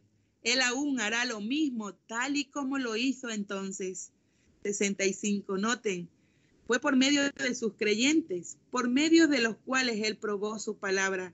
Él solamente puede probar su palabra, no por medio de incrédulos, es solamente por medio de los creyentes que Él puede probar su palabra. No importa cuánto reclamaban los demás. Oh, hermano, yo creo. ¿Ven? Si usted cree, Dios así lo probará, porque podemos ver a los demás. Entonces, ¿cómo podemos decir, ven? Es por medio de genuinos creyentes que Él prueba su palabra, no por medio de aquellos que dicen que creen, pero por medio de aquellos que genuinamente creen. Es por medio de sus hijos creyentes que Él prueba su palabra. Ahora, Él tenía los creyentes. Todos los antiguos, antiguos habían muerto. Los incrédulos que habían dicho, no lo podemos tomar. Él permitió que todos ellos perecieran. ¿Por qué? Todos ellos menos los creyentes. ¿Quién había permanecido? Moisés había sido llevado a la gloria y los incrédulos habían perecido en el desierto, y estos eran sus hijos. Solo hubo dos que cruzaron, y estos eran los creyentes, Josué y Caleb. Ellos eran los creyentes, ellos eran los que cruzaron. Esa es la única manera que Dios lo puede hacer. Eso es por medio de sus hijos creyentes. ¿Ustedes creen eso? Muy bien. Tus creyentes fueron los que lo hicieron él los usó a ellos para cruzar. ¿Ven?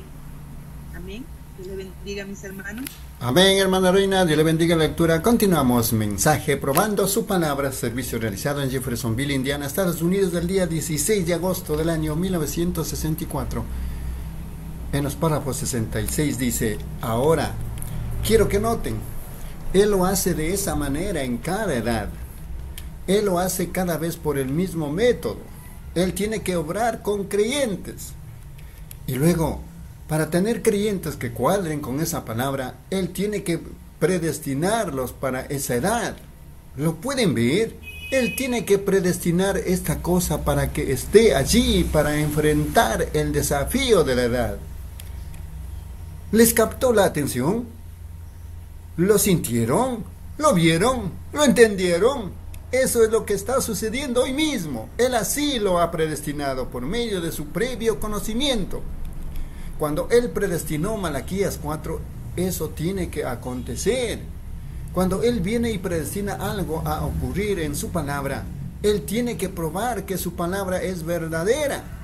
Cuando Él predestina algo a ocurrir y dice que ocurrirá, Él sabe que esa simiente estará allí en ese tiempo. Él predestinó una novia. Ella va a estar allí. Habrá un rapto. Ella estará allí. Él la predestina por medio de su previo conocimiento. Bien, no hay nada que lo pueda detener. 67. Cuando Dios le dijo, ahora yo os di promesa de una tierra prometida. Y yo le dije a vuestro padre Abraham que sus hijos morarían aquí por 400 años. Ahora Moisés dijo, yo soy el profeta del Señor.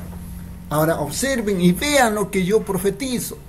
Si eso acontece, entonces sabrán que yo soy enviado del Señor, porque saben que Dios ya les ha dicho eso. Ahora, ahora si yo profetizo esto y sucede, y aquello y sucede, y esto y sucede, cada vez igual, entonces sabrán que yo soy enviado del Señor para decirles. Ahora, si hay una tierra prometida que Dios ha prometido, ven, y Dios prometió esta tierra. Ahora es una tierra buena y está fluyendo con leche y miel. Síganme. Y al salir al desierto, donde él habría de viajar para llevarlos al desierto, a donde Dios le dijo que los trajera al monte de Sinaí. Monte Sinaí. Luego Dios bajó ante todo Israel en la columna de fuego y confirmó que aquello que Moisés había dicho ahí estaba, probando que era correcto, vindicando allí a Moisés. Moisés dijo que yo estaba en esta montaña, que yo le había aparecido a él en la forma de una zarza ardiendo y ahora tengo toda la montaña ardiendo. Ellos dijeron, eso, que no hable Dios, mejor que hable Moisés, de otra manera pereceremos. Él dijo, yo, yo, yo no haré esto más. Yo les levantaré un profeta. Él, él les hablará en mi nombre. Así es como él hace, exactamente la manera como él obra con su palabra. 68. Cuando, noten entonces a aquellos quienes no creyeron, después que habían acercado tanto a la tierra y no creyeron, Ahora, para ustedes que están anotando esto, anoten Hebreos 6, aquí donde dice, los que una vez fueron iluminados y fueron hechos partícipes del Espíritu Santo, siendo que recayeron, sean otra vez renovados para arrepentimiento, crucificando de nuevo para sí mismos al Hijo de Dios y exponiéndole a vituperio. Es imposible que tales sean salvos. ¿Ven? Así de imposible fue para que ellos cruzaran la tierra prometida. La gente llega hasta el bautismo del Espíritu Santo, llegarán hasta la palabra, pasarán por todas las denominaciones y todas las iglesias y todos los catecismos y todo, pero cuando llegan a la palabra, esa línea donde tiene que cruzar, dice, oh, yo no sé de eso, mi iglesia no lo enseña de esa manera. A mí no me importa lo que enseña su iglesia, la Biblia dice que así es. Luego dicen, ¿Cómo sé yo que es la verdad? Él lo confirma y lo prueba. Amén.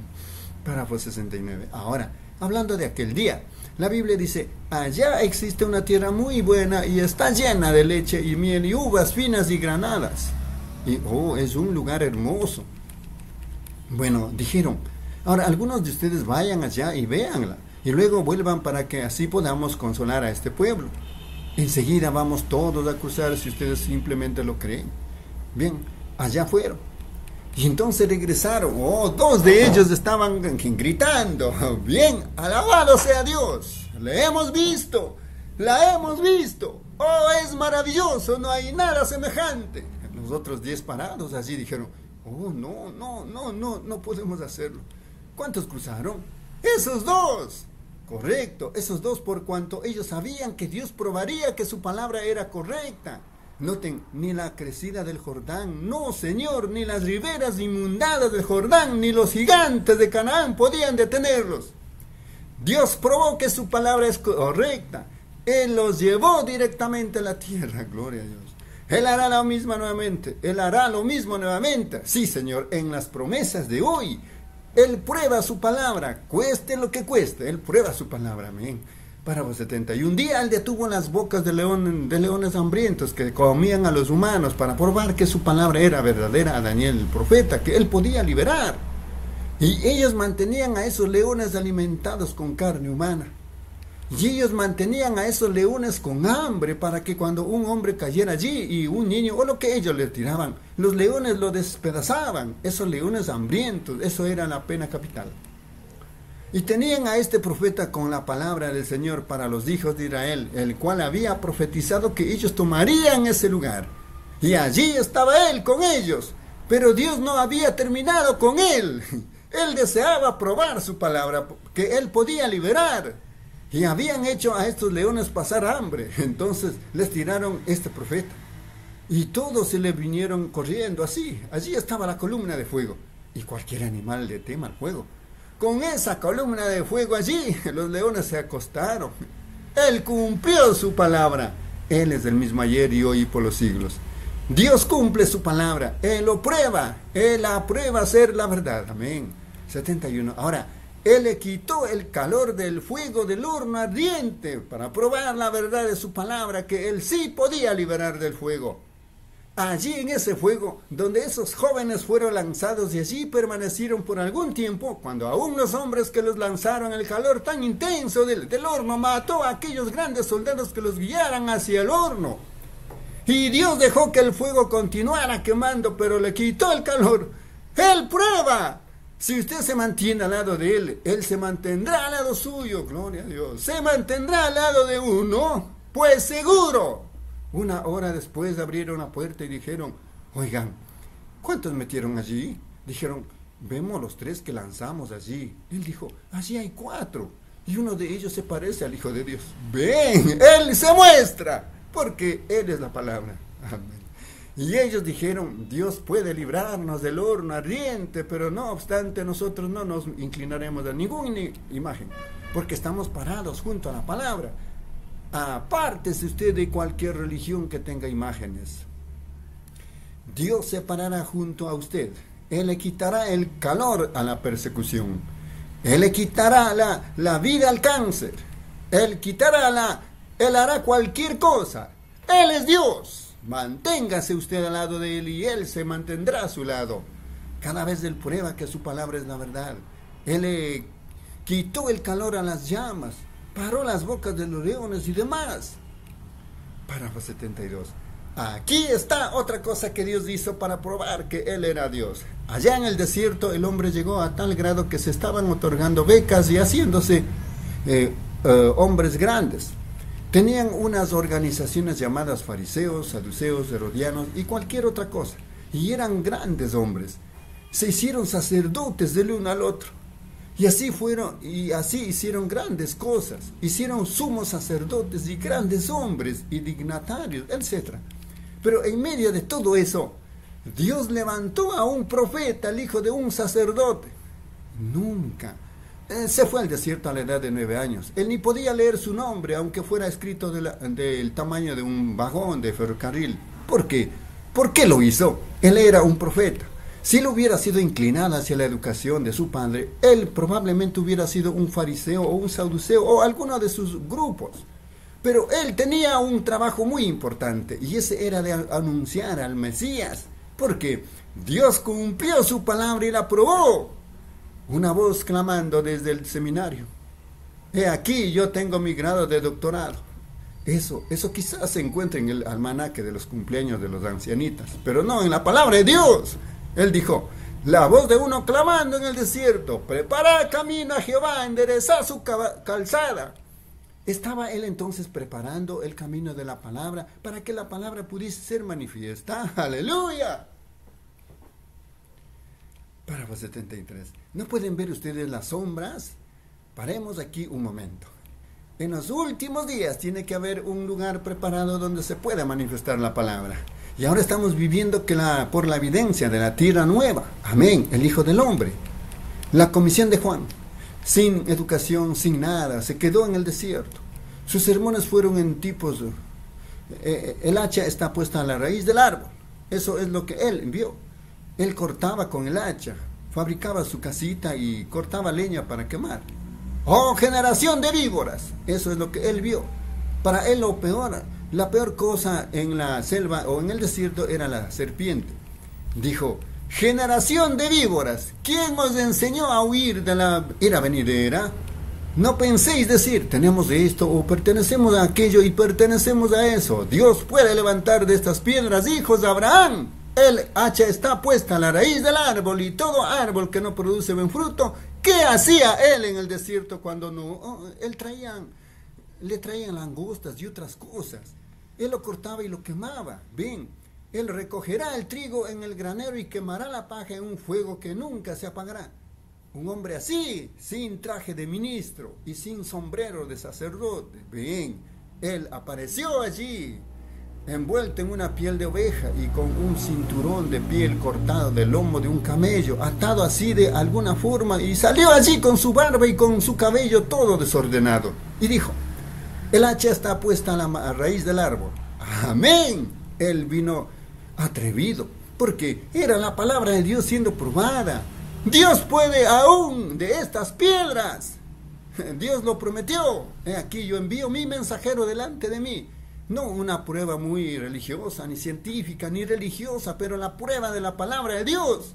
Dios estaba cumpliendo su palabra. Bien, no un erudito de ninguna manera, pero un profeta enviado en el nombre del Señor. Él hizo aquello. ¿Por qué? Para confirmar su palabra.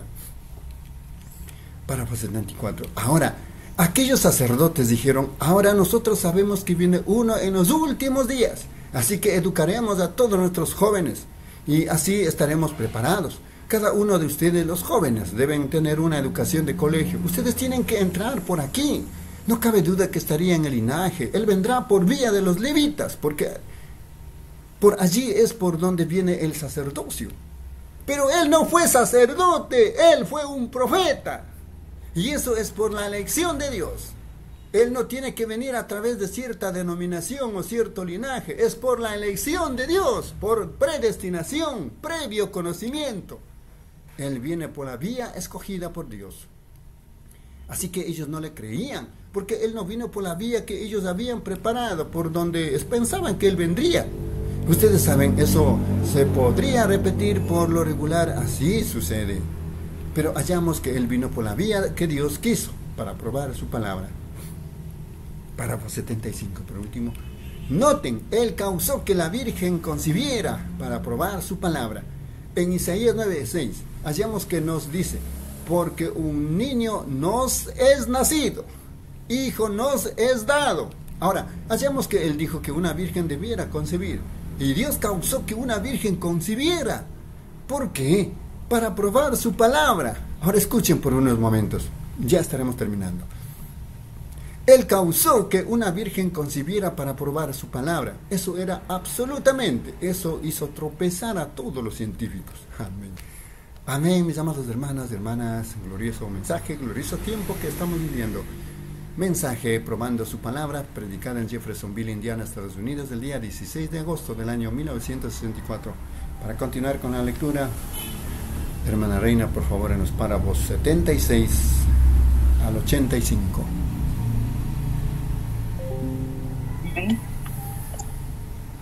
Dios le bendiga, hermanos y hermanas. Continuamos con la lectura del mensaje probando su palabra. Párrafo 76. Lo entendieron, ¿verdad que sí? Ven. La tierra está bajo maldición. Toda la tierra está bajo maldición a raíz del pecado de Adán. Pero cuando esta pequeña semilla, ahora la mujer no tiene simiente. Ella tiene un campo a donde llega la semilla, no una semilla, porque no hay ningún germen. Un germen debe, una simiente debe tener vida en sí. Si no es así, eso es materia. Allí no hay vida. Así que la simiente está en el hombre. Por esa razón, la simiente de la serpiente tenía que estar en la mujer, ¿ven? Por cuanto no era la simiente de Dios. Nosotros sabemos eso. Está bien, esperen hasta recibir este libro y allí lo pueden leer.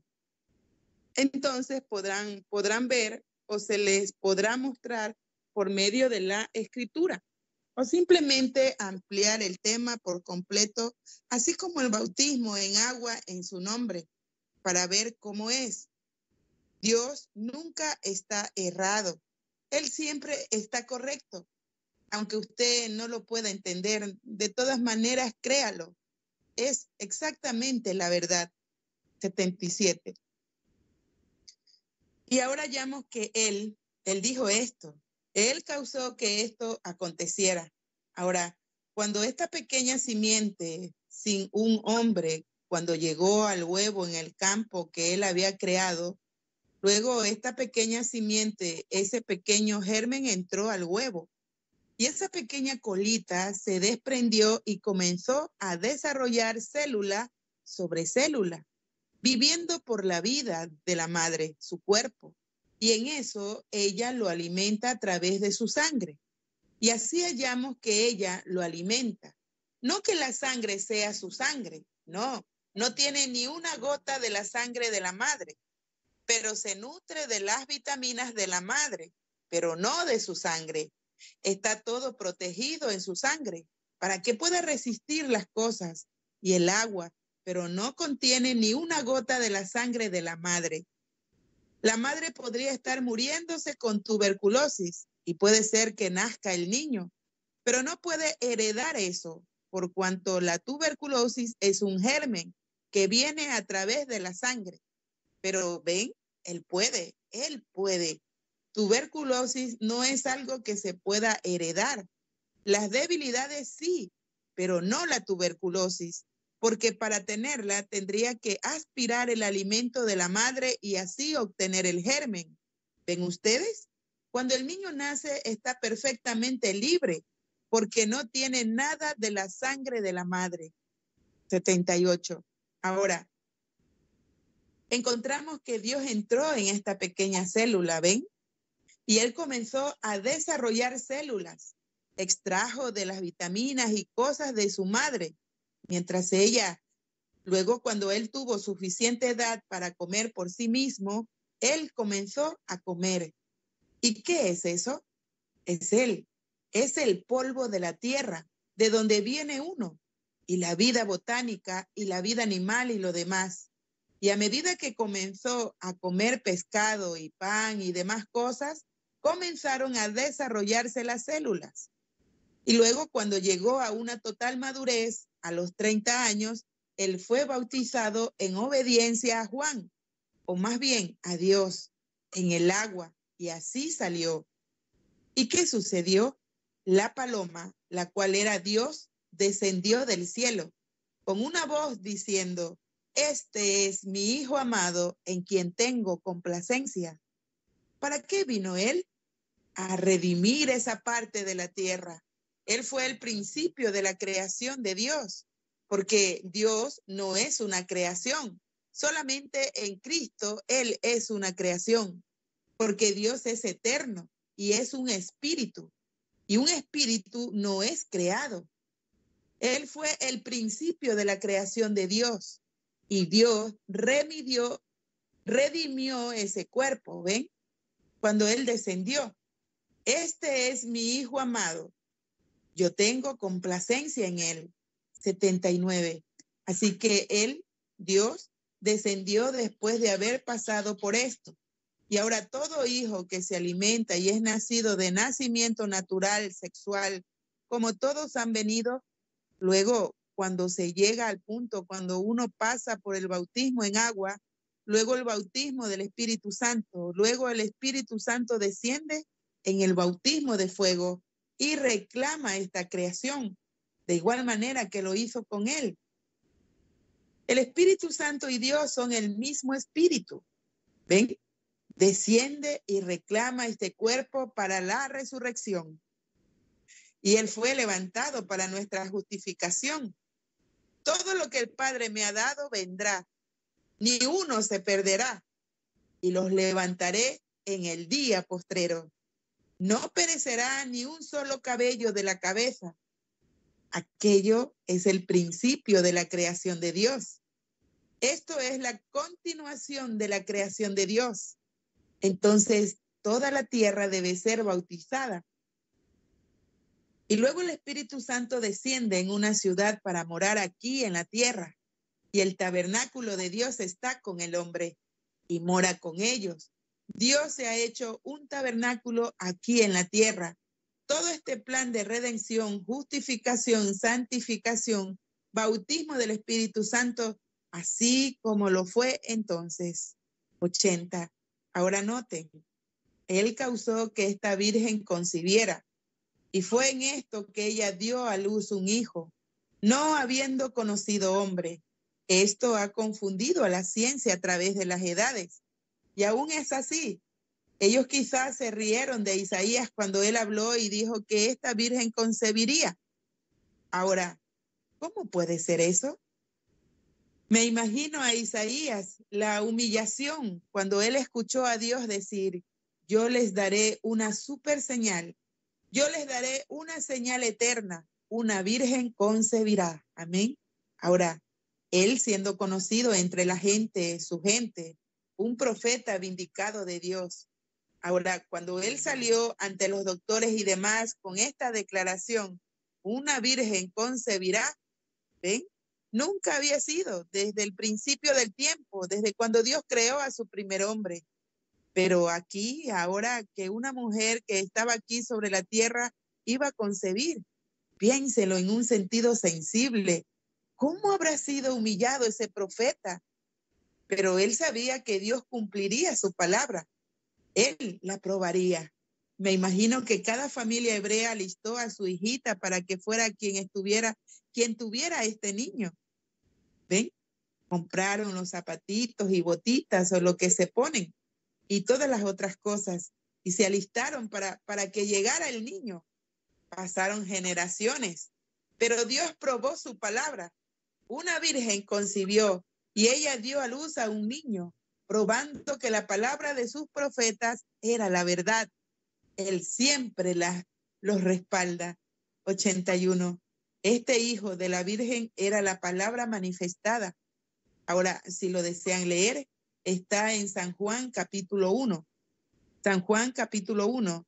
Este profeta, este también era profeta, pero este hijo de la Virgen era la palabra manifestada.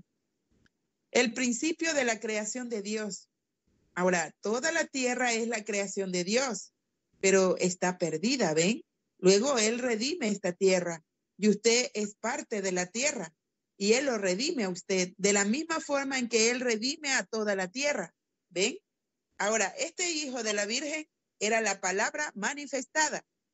En el principio fue el verbo y el verbo estaba con Dios y el verbo era Dios. Y aquel verbo fue hecho carne y habitó entre nosotros. Satanás usó toda artimaña para hacer que él desacreditara esto. Satanás intentó todo lo que pudo para, para hacer que él lo desacreditara. Trató de hacer que él tomara el reino sin sufrir. Trató de hacer que lo tomara sin redención. Cuando ese fue el plan de Dios en el huerto del Edén, cuando él mató al cordero que solo por medio de sangre él lo tomaría. Aún él le prometió todos los reinos de la tierra si él los tomaba. Solo piensen, qué promesa. 82. ¿No se dan cuenta, mis amados y preciosos amigos, en este momento, que Satanás les hace una promesa para... Él hará de usted uno de los mejores ministros en la asociación. Él le dará el primer asiento en cada iglesia y lo hará un diácono. Él hará cualquier cosa si ustedes solamente se apartan de esta palabra. Ahora noten, hace que todo, le daba a él el mundo y todos sus reinos. Él los podía tomar. Él estaba tratando de hacer que él quebrantara la palabra, porque sabía que si lo lograba, lo tendría en su poder. Él hizo que Moisés la quebrantara. Él hizo que Eva la quebrantara. Pero en esta ocasión se enfrentó a la persona equivocada. ¿Por qué? Él era la palabra y este no lo sabía. Él mismo era la palabra. Amén. 83. Lo puedo ver. Queremos mostrarlo como el cuadro de un niño. Yo puedo ver esas grandes alas negras acercándose a Eva y decir, Ahora, déjame decirte, es placentero. Tú deberías probarlo. Pero Dios dijo que si lo hiciéramos, moriríamos. Oh, bueno, seguramente no moriréis. ¿Ves? Oh, eso es tontería. Esa es una, una idea anticuada. No lo creas. Pero Dios lo había dicho. Dios probó que estaba correcto y Él lo está probando ahora mismo. En este mismo momento hay gente que se está muriendo. Él aún prueba que está correcto. Noten, y cuando él vino a Moisés, él dijo, Moisés, tú sabes que eres muy impulsivo, tienes un temperamento muy fuerte. Mira lo que han hecho este montón de renegados. ¿Ves? ¿Por qué no vas allá y les dices lo que piensas al respecto? Y él lo hizo. 84. Pero cuando él tocó esta línea de 10.000 voltios, le quemó las plumas. Cuando él se enfrentó con él, él dijo, oh, escucha, dijo, yo te daré todos los reinos. Escrito está, ven, escrito está. Él dijo, ahora, si tú eres el hijo de Dios, ven, él siempre lo ha dudado. Él aún enseña a otros a que lo duden. Él le enseñó a Eva a dudarlo. enseñó a Moisés. Él les enseñó a todos que trataran de dudarlo. Él les está enseñando a ustedes a tratar de dudarlo. Y ustedes que están sentados aquí ahora mismo, si quieren, yo puedo mencionar sus nombres. Ha estado. Satanás por mucho tiempo ha estado tratando de hacer que ustedes duden de mí. No hagan eso, hermana. Si usted hace eso, bueno, usted o no tanto a mí, pero que duden. Solo crean esta palabra. Ustedes no me tienen que creer a mí, pero crean esto, ¿ven? Si yo hablo esta palabra, no es mía, es suya. Mis palabras son distintas, pero esta es suya. ¿Ven? Noten ahora. Noten. No deseo entrar en eso ahora. 85. Noten. Todas sus palabras prometidas son absolutamente la verdad. Él las probó. Él las probó porque él probó que él era la palabra verdadera. No solo de pan vivirá el hombre, más de todo lo que sale de la boca de Dios. ¿Cómo, cómo es que vive? Por, bueno, si él toma un poco de la palabra de Dios, vivirá. Eh, pero ahora eso no es lo que él dijo. ¿Notaron? T-O-D-A. Toda palabra. ¿Cómo es que vive? ¿O él come ahí? No, él está muriendo rápidamente. Eso es carne pues él o oh, él pertenece a la iglesia, él cree todo menos eso. Aún está muerto. ¿Lo captaron? Puede solo vivir por toda palabra que sale de la boca del sumo sacerdote, el obispo, el cardenal, el pastor de Dios. Toda palabra que sale de la boca de Dios. ¿Cómo sabemos que es la palabra de Dios? Él la habla y luego la prueba. Él prueba su palabra. Entonces noten si así es. Su confesión no lo hará vivir. El hecho de que usted pertenece a una iglesia no lo hará vivir. Noten, por medio de su palabra solamente, no solamente alguna palabra mal colocada, ninguna palabra hará. Una sola palabra mató a toda la raza humana en la Biblia, en Apocalipsis capítulo 22, una palabra aún puede matarlo todo. Su nombre será quitado del libro de la vida. El que añadiere una palabra o quitare una palabra, ni una sola palabra. No, no, quiero decir, no, no dos palabras, una sola palabra, no una frase, una palabra. Una palabra, oh pueblo, ¿lo entienden? Amén. Dios, Dios bendiga, mis hermanos. Amén, amén. Gloria a Dios por su palabra. Dios le bendiga, hermana Reina, por la lectura. Seguimos compartiendo en esta hermosa tarde este glorioso mensaje titulado Probando su palabra, servicio realizado en Jeffersonville, Indiana, Estados Unidos, del día 16 de agosto del año 1964. Continuando con la lectura en los párrafos 86 dice, ahora, yo no estoy hablando solamente a esta congregación, esto se está grabando. Ven ustedes y sale a través de todo el mundo, pueblo del mundo. ¿Entienden? Que una sola palabra, una palabra, no una oración, no un párrafo, una palabra. Eso es todo lo que Eva describió. Trajo, Dios la aprobó. Pero luego, si guardaréis, si guardaréis toda palabra, viviréis. Ellos dudaron una palabra y trajo muerte a la raza humana. Pero no solo de pan vivirá el hombre para su fuerza física, sino por toda palabra, toda palabra, así como está escrito. La Biblia dice, no es de interpretación privada. Ningún hombre en ninguna parte tiene el derecho de tratar de interpretar alguna parte de la palabra de Dios. Dios es su propio intérprete.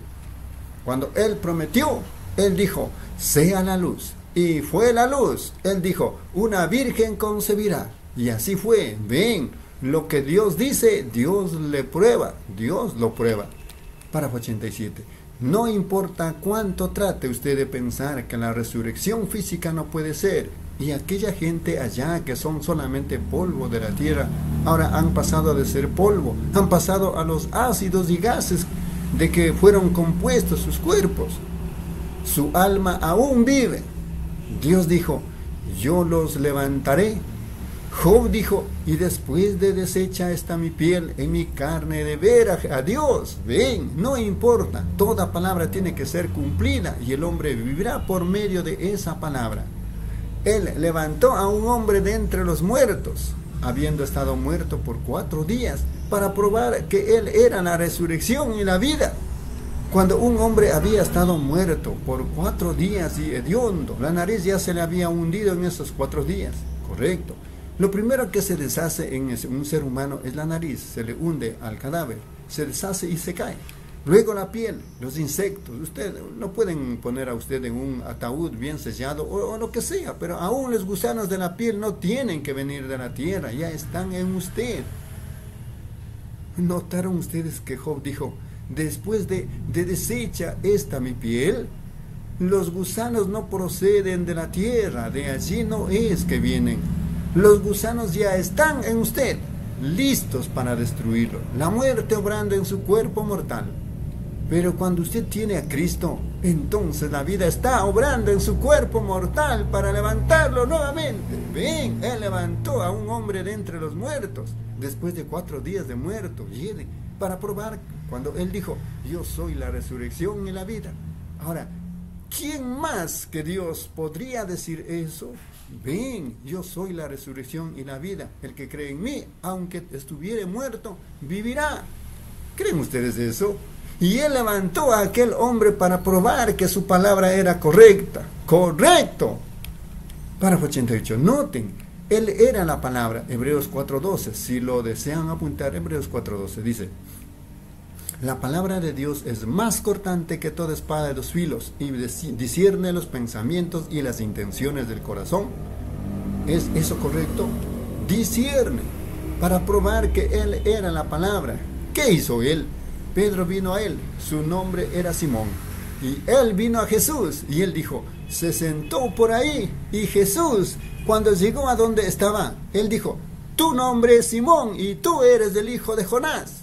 Sin educación, no respaldado por grados de educación. Él no era más que un pescador común, sin educación. La Biblia dice que él era ignorante y sin letras. Pero él llegó a ser el obispo de la iglesia de, de Jerusalén. ¿Por qué? Porque Jesús le dijo quién era, cuál era su nombre y cuál era el nombre de su padre. Y él sabía que esa era la palabra, porque la Biblia dice, el Señor vuestro Dios os levantará profeta como yo. Y ese tenía que ser ese profeta y no había promesa de profetas entre Malaquías y el, el Mesías. 400 años sin un profeta. Y aquí estaba parado un hombre, confirmando o probando su palabra, que este hombre estaba predestinado a vida, diciendo, tu nombre es Simón, pero desde ahora tú eres del hijo de Jonás, pero desde ahora en adelante serás llamado Pedro. Piénsenlo. ¿A quién se lo probó? ¿Por qué no le probó él la palabra a? ¿Por qué no le probó a él la palabra a Caifás? Él era Dios. Él sabía que Caifás nunca lo iba a creer. Pero este hombre estaba preordenado a vida. Él se dio cuenta ahí mismo. Párrafo 89. En una ocasión estaba parado entre la gente y unos días después otro hombre fue y trajo a un amigo que estaba ya del otro lado de la montaña, como a 15 millas de donde estaban predicando, y lo trajo al día siguiente. Él estaba parado allí entre ellos y vino a donde estaba Jesús. Jesús miró alrededor. Él era Dios. Ven, él tenía discernimiento. Eso le mostró. Ven, mostrando correctamente la palabra. Él probó la palabra. Ahora, algunos de ellos dijeron, ustedes saben aquel hombre es la palabra. Tonterías. Dijeron aquellos sacerdotes, ese hombre no es. No, ese no es la palabra. Dijeron, ustedes saben lo que dice la escritura, que el Señor nuestro Dios levantará a profeta como Moisés, y ese es él. Escúchenlo. Bien, dijo él, tú eres, he aquí un israelita en quien no hay engaño. Este hombre dijo, Rabí, ¿cuándo me conociste? Él dijo, antes que Felipe te llamara, cuando estabas debajo del árbol, te vi. Él sabía quién lo, quién lo creía. Él dijo, Rabí, tú eres el Hijo de Dios, tú eres la palabra. Jesús probó que Él era la palabra por medio de la palabra. Amén. Párrafo 90. Fíjense en la mujer junto al pozo. Ella estaba esperando al Mesías. Ella no tenía nada que ver con las grandes multitudes y las denominaciones, etcétera, que tenían que aquellos días. Ella estaba buscando la palabra. Entonces, en una ocasión, un hombre que estaba sentado allí, un hombre común, sentado allí a un lado, dijo, dijo, mujer, tráeme de beber. Ella dijo, ahora un momento. Él probablemente está tratando de coquetear conmigo. Ella quizás pensó eso en su corazón porque ella era muy conocida como mujer de mala fama. Dijo, pues tú, ¿por qué me haces una pregunta como esa? Aquí tenemos segregación. Tú eres, tú eres, tú eres simplemente un, tú eres un judío. Nosotros somos samaritanos. No, no es la costumbre, no es correcto que tú me pidas eso así. Ven. Él dijo, mujer, si supieras con quién estás hablando, me pedirías a mí de beber. Ella dijo, ¿a ti de beber? Yo no veo ni balde ni cuerda. ¿Cómo me vas a dar eh, agua de este pozo? Él dijo, ese no es el pozo del que yo estaba hablando, ven. Y después ella dijo, este es un hombre muy raro. Así que ella comenzó a sacar el agua jalando. Dijo, pues el agua que yo doy será manantiales de agua. Géiseres, fluyendo a vida eterna y en tu alma. Párrafo 91. Pues, dijo ella, ahora espera un momento. Yo, yo entiendo. Tú siendo un judío.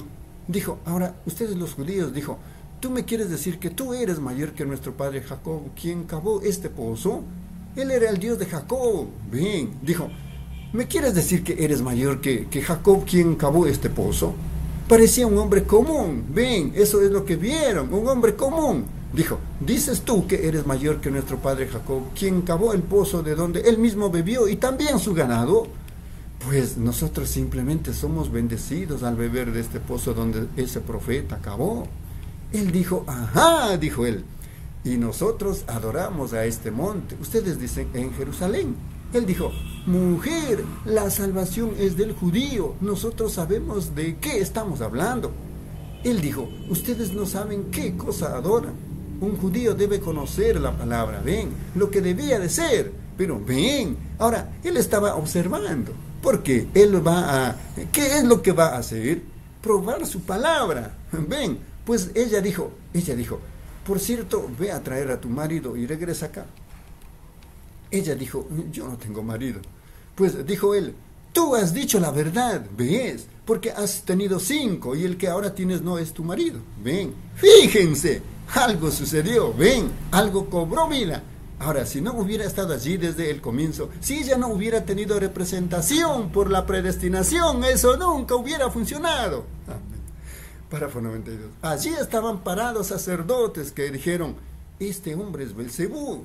Ven, ninguna representación. Vida eterna. Ustedes siempre fueron. Ven, ustedes tienen vida eterna. Solo existe en una sola forma. Eso es Dios. Ustedes eran sus, sus atributos. Él pensó en ustedes y los conocía a ustedes antes de la fundación del mundo. En su mente. Ven, ella miró alrededor. Fíjense en qué, en qué condición tan pecaminosa se encontraba. Pero bien, él no podía, él no podía atraer a aquel sacerdote, porque el sacerdote era un erudito educado, un teólogo en la palabra, pero no tenía representación en el cielo. Ven, él no estaba en el pensamiento de Dios, pero esta mujer sí estaba. Ella dijo, Señor, me parece que tú eres un profeta. Eso era lo que él quería que ella viera. Ven, dijo, nosotros creemos que tú eres, yo creo que tú eres un profeta. Ahora nosotros sabemos, hoy en día nosotros no entendemos acerca de profetas porque ha pasado mucho tiempo. Sabemos que viene un Mesías y cuando ese Mesías venga, él será la palabra. Ven, él conocerá los secretos del corazón. Él hará las mismas cosas que, que tú hiciste allí. Dijo, tú debes ser uno de, es, de sus profetas para precursarlo a él o algo. Él, él dijo, yo soy. Párrafo 93. ¿Qué estaba haciendo él? Él estaba probando su palabra, probando su posición, probando lo que él era. Dios estaba en Cristo, reconciliando consigo el mundo. Y Dios es la palabra. Muy bien. Él calmó los vientos y las olas para probar la profecía de Isaías. Él será llamado el Dios fuerte, Padre eterno. Ven, Él también multiplicó el pan y los peces. Este hijo nacido eh, de la Virgen. ¿Para qué fue? Para probar la palabra. Toda escritura tiene que ser cumplida. Él probó la palabra al decir que Él era Jehová manifestado. Él era el principio de la creación de Dios. Dios en creación. Dios con una pequeña parte de la creación en la cual Dios mismo estaba viviendo. Él era el principio de la creación de Dios, de Él engendrando muchos hijos. Noten, Él también multiplicó los peces. Él es la palabra y la prueba de la palabra. 94. Ahora, escuchen bien, mientras llegamos al final. Aquel día del cual leí hace unos cuantos momentos. Ahora, cuando él llegó a la casa de Jairo, cuando él llegó allí, entró. Ahora recuerden, Jairo era un, un sacerdote, un creyente fronterizo. Él deseaba creerle a Jesús, pero no quería soltarse de su iglesia, porque habían dicho, cualquiera que cree en él será echado de la iglesia. Ahora escuchen con mucho cuidado, y ya para terminar, présteme mucha atención, fíjense en esto. Yo creo que Jesús ya sabía eso cuando cruzó el mar, porque él sabía todas las cosas. Y cuando él cruzó el mar, se detuvo y se le acercó este sacerdote. Su hija se puso muy enferma. Los médicos la habrían desahuciado. Dijo, ella está a punto de morir. Ahora el tiempo de acción había, llegado. Párrafo 95 por último. Quizás sea, quizás esa sea su situación en esta mañana. Ha llegado el tiempo en que usted debe actuar. Ven, quizás usted esté muy enfermo. Quizás usted esté convencido que está errado. Quizás así sea. Dios fuerza la situación. Llega el tiempo de actuar. Ahora, con mucho cuidado. Y él vino. A él no le importaba lo que decían los demás. Vino allí públicamente y se postró a los pies de Jesús. Qué tremendo paso para, para, un erudito educado, que viniera a uno del cual no tenemos ningún registro de que haya asistido a la escuela. ¿Cómo es que vino un hombre que supuestamente estaba en toda la teología, a un hombre que supuestamente era un réprobo, un hombre salvaje, un hombre loco, fuera de sí, ni siquiera tenía su mente cabal? Perdonen la expresión, pero él es un maniático común de hoy en día. Todos pensaban así de él. Como diríamos hoy en día, con una expresión callejera, loco. Ustedes saben como yo prediqué el otro día acerca de la tuerca y el perno, ven, eso es lo que él era para el público, simplemente un tipo común de todos los días.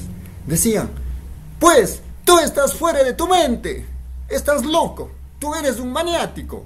Ahora aquí estaba un hombre que tenía todas las becas, viniendo ante aquel que supuestamente estaba fuera de sí. Él fue forzado a eso. Amén, mis amados hermanos y hermanas.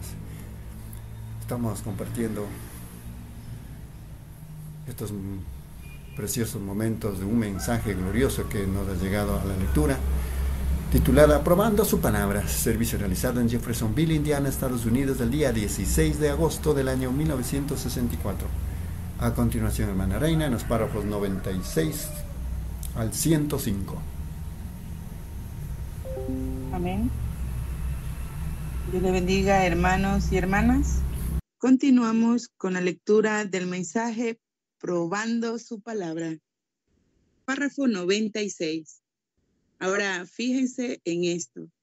Esto va a doler un poco, pero les hará bien. ¿Ven? A veces una sacudida los despierta.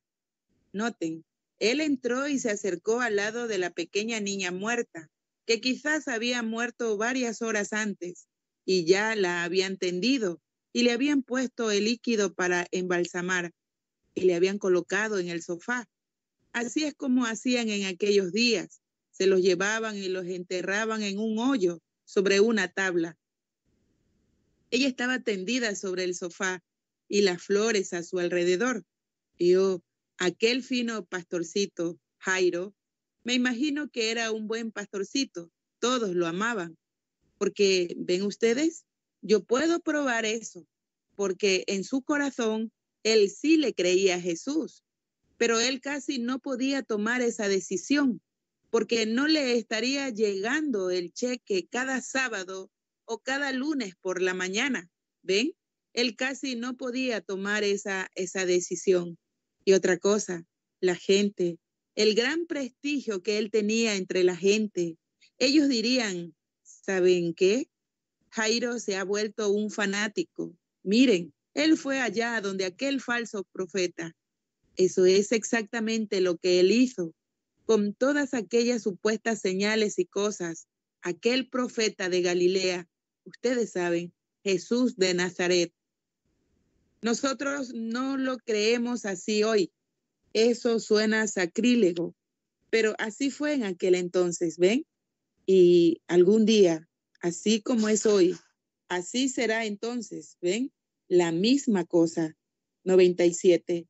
Ahora noten, él fue allá y él casi no lo podía hacer, pero llegó el tiempo cuando fue forzado a hacerlo. Él tenía que hacerlo. Y él fue en busca de Jesús, allí ante todos ellos, y cayó a sus pies y dijo, Maestro, Maestro, ¿saben ustedes lo que es eso? Autoridad, posesión, ¿correcto? ¿Ven? Mucha gente quiere que Jesús sea su Salvador, pero no su Señor. ¿Ven? Señor es gobernante. Sí, ustedes dicen, Jesús, tú sálvame y déjame estar parado aquí y todo está bien y yo seguiré en mis asuntos. Ahora, tú no te metas en mis asuntos, pero tú puedes ser mi Salvador, pero no mi Señor. Él quiere ser su Señor, ¿ven ustedes? Entonces Él es su Salvador. 98, pero ahora Él dijo, Maestro Salvador, ¿ven? Yo, mi hijita, mi única hija, tiene 12 años y los médicos la han desahuciado. Sin duda, el sacerdote pudo haber dicho esto. Tú sabes, todos han hablado de que tú eres un fanático, pero tú sabes, maestro, yo, yo te creo, yo creo, yo sé que tú tienes discernimiento. Y la única cosa que quiero que digas es simplemente, ven y pon tus manos sobre ella y luego dime qué debo hacer. Yo lo haré. Oh, ahora sí está avanzando. Dijo, yo iré, yo iré. Y él comenzó a andar. Después de que él había estado ausente por varias horas, aquí venía un hombre corriendo, como era la costumbre en aquel entonces, con ceniza en la cabeza, y dijo, no molestes al hombre, tu hija ha muerto, ya está muerta, ya la han preparado y la han tendido. Oh, su corazón Jesús se volteó y lo miró. Él dijo, oh, oh, oh. Él dijo, ¿no te he dicho? Ahora, lo que él hizo allí, él le había prometido a Jairo. Ahora, él tiene que probar eso. Amén. Yo te dije, cree y tú verás la gloria de Dios. Ahora, él sabía lo que estaba haciendo. Él dijo que no hacía nada hasta que el Padre primero se lo mostraba. San Juan, San Juan 5, 19. Yo solo hago lo que el Padre me muestra. Así que Él le mostró a Él lo que estaba por suceder. Amén. 99. Entonces, cuando Él entró a la casa y se paró al lado de ese pequeño cadáver frío y tieso, habiendo estado enferma por varias semanas, y su cuerpecito pálido, Ningún alimento había entrado a su cuerpo y había tenido fiebres y cosas y ella había, ella había muerto. Ya la habían rociado con las especias y cosas para embalsamar y tendida allí, ustedes saben, sobre el sofá y las cosas, iban a envolverla y colocarla en la tumba y habían tenido su pequeña ceremonia con las flores alrededor. Llegó Jesús y todos, oh Jairo, tu hijita ha muerto Oh, Padre Jairo, oh, sentimos mucho por ti y todo. Él dijo, oh, cállense, están haciendo demasiado ruido. Él dijo, ¿por qué están haciendo tanto tumulto aquí? ¿Ven ustedes? Este tumulto, ustedes, ustedes están, ustedes están gritando y clamando. La niña no está muerta, ella está dormida. Entonces, ¿qué hicieron? Cuando le oyeron a él decir que ella no estaba muerta, dice que se burlaban de él. En otras palabras, se mofaron de él. Uf, pues tú, pues tú eres un falso profeta, pues tú engañador de hombres. La niña está muerta. Así dijo el médico. Nosotros la hemos embalsamado, la hemos tendido. Allí está, está muerta. Ellos dijeron, ja, ja, ja. Ahora, Jairo, tú has estado hablando de él. Ahora, ¿qué de esto? ¿Sabes, ¿Saben ustedes lo que él hizo? Él dijo, salgan todos ustedes de aquí. En medio de incredulidad como esa no puede funcionar. Ahora, ¿por qué dijo él eso? Él dijo, Jairo, si tú tan solo crees, tú verás la gloria de Dios. Ahora, esa es su palabra. Él la tiene que probar. Muy bien. 101. Entonces, cuando él entró a la casa donde todos estaban llorando, él dijo, ella está dormida. Eso era contrario a la ciencia. Eso era contrario al sentido común. Ella estaba muerta, embalsamada. En cuanto morían, los embalsamaban allí mismo, tan pronto como la vida salía de ellos. Entonces los rociaban con las especies y los envolvían y los preparaban para el entierro. ¿Ven? Los enterraban, tan solo los enterraban, pues algunas veces ni siquiera lo anunciaban a la gente. Ustedes saben, Ananías y Zafira acababan de enterrar a Ananías cuando Zafira, Ananías cuando Zafira entró Ven ustedes, acababan de sacarlo y enterrarlo. Ven ustedes, simplemente tan pronto morían, rociaban esa cosa sobre ellos y los sacaban y los enterraban. ¿Ven? 102. Entonces ella ya estaba lista para el entierro, pero querían esperar que papá la viese antes de que la enterraran. Y cuando él entró y la vio en esa condición y él dijo, ella apenas está descansando, pues ellos dijeron, Ahora, ese hombre sí está bien loco. Entonces, ¿qué hizo él? Él ya había dicho que ella estaba dormida. Él tenía que probar su palabra. Él no lo podía hacer ante esa gente. Así que él dijo, échalos a todos para afuera. Échalos a todos para afuera. Y yo lo puedo ver a él mirando hacia Jairo y diciendo, ¿todavía crees? Sí, Señor, tú y tu esposa vengan acá. Pedro, Jacobo y Juan, vengan conmigo. Ellos se acercaron allí y hablaron estas palabras. Talita Kumi, que significan niña, levántate. Y él probó su palabra. Ella solo estaba dormida. ¿Es eso correcto? Él allí probó que su palabra estaba correcta. A pesar de toda la incredulidad, él aún probó que su palabra estaba correcta al despertarla, porque él dijo que ella estaba dormida. Ella estaba dormida. 103. Él hará lo mismo algún día a todo verdadero creyente, porque su palabra sí lo prometió. Los que están en Cristo, Dios traerá con él. ¿Ven? Los que están en Cristo. ¿Qué hizo esta niña judía? yo iba a pasar por alto esta escritura, pero yo, yo voy a hablar de ella. Yo sé que se está haciendo un poco tarde y llegaremos a la línea de oración en unos momentos. Yo quizás no los vea hasta la próxima semana, pero detengámonos aquí por un momento. No solo de pan vivirá el hombre, ¿ven? Noten, permítanme meter esto aquí ahora para mostrarles. ¿Por qué despertó Jesús a esta joven hebrea? porque ella sabía que no estaba muerta. Predestinación, así como hizo él con Lázaro. ¿Ven? Quizás muchas jóvenes murieron ese mismo día. Él no les dijo ni una palabra a ellas. Él sabía que ésta tenía vida eterna, ¿ven? Amén. Él no despertó a las demás. Miren, cuando él salió de Jericó, dijeron, aquí está este hombre. No cabe duda que dijeron, tú despiertas a los muertos. Tú nos dices que levantas a los muertos. Acá tenemos un cementerio lleno de ellos. Ven, despiértalos. Ven. Él no les prestó nada de atención. Ven, no lo hizo. porque él sabía que él era la palabra. 104, noten, ella solamente estaba durmiendo. Él sabía que el padre iba a llegar. Ahora, esta niña, ven, él sabía que esa pequeña joven judía solamente estaba durmiendo, ven. Los, los justos no mueren.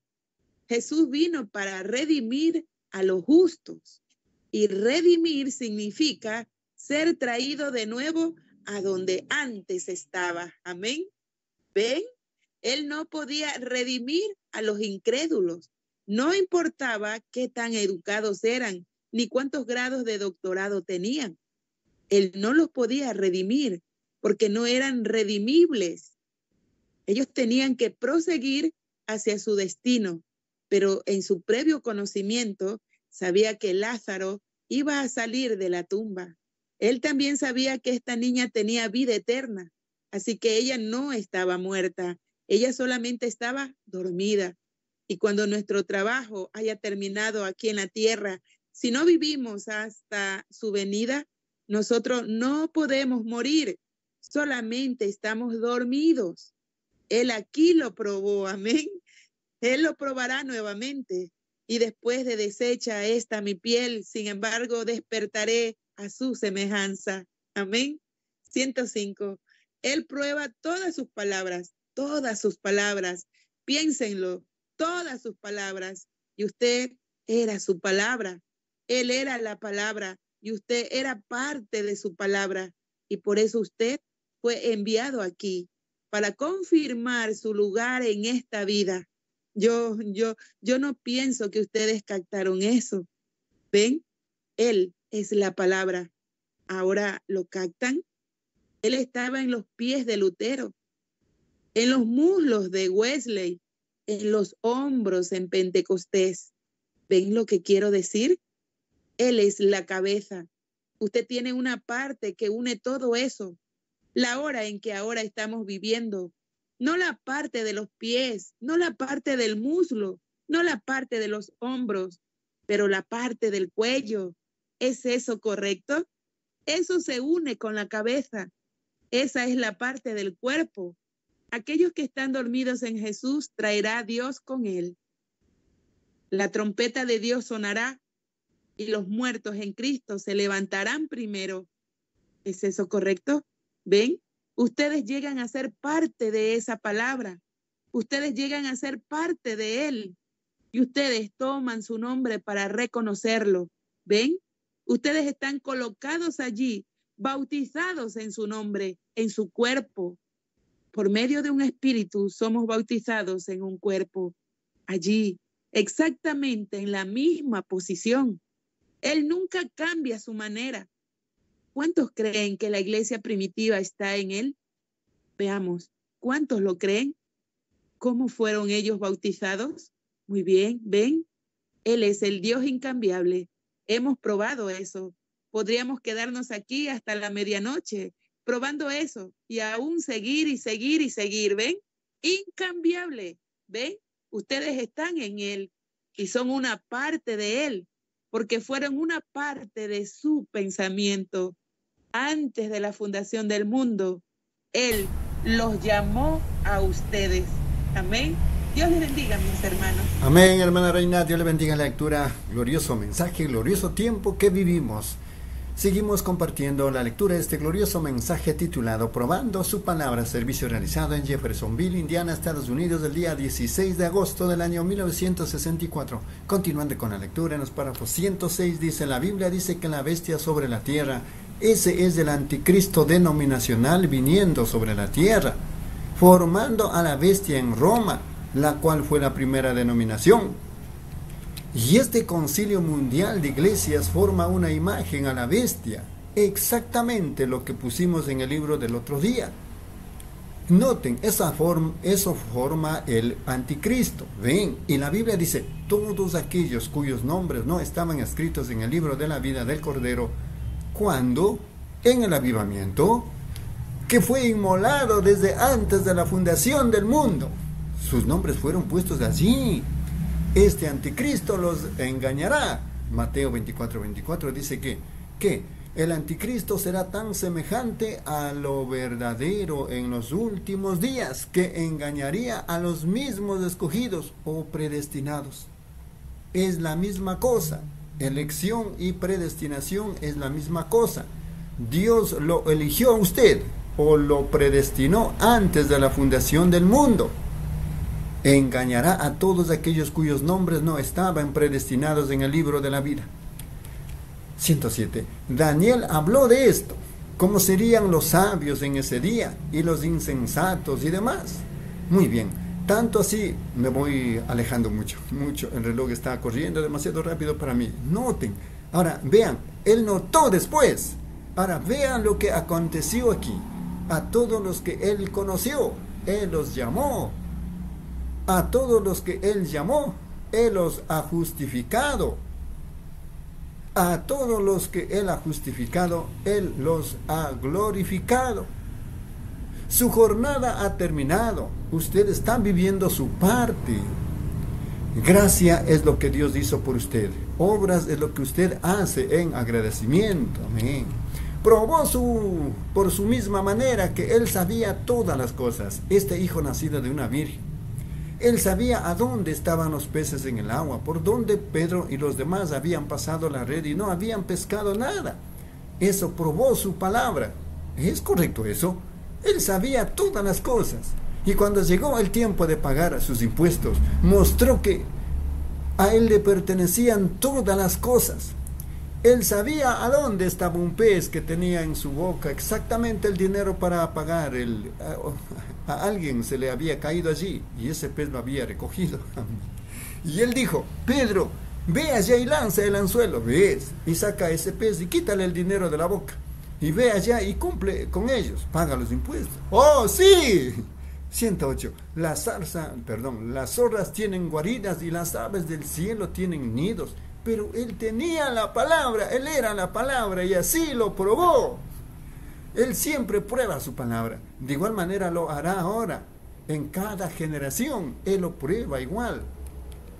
Después del tercer día, después de su muerte y entierro al tercer día, Él se levantó nuevamente para probar su palabra, porque el profeta dijo, no permitiré que mi santo vea corrupción, ni dejaré su alma en el Seol.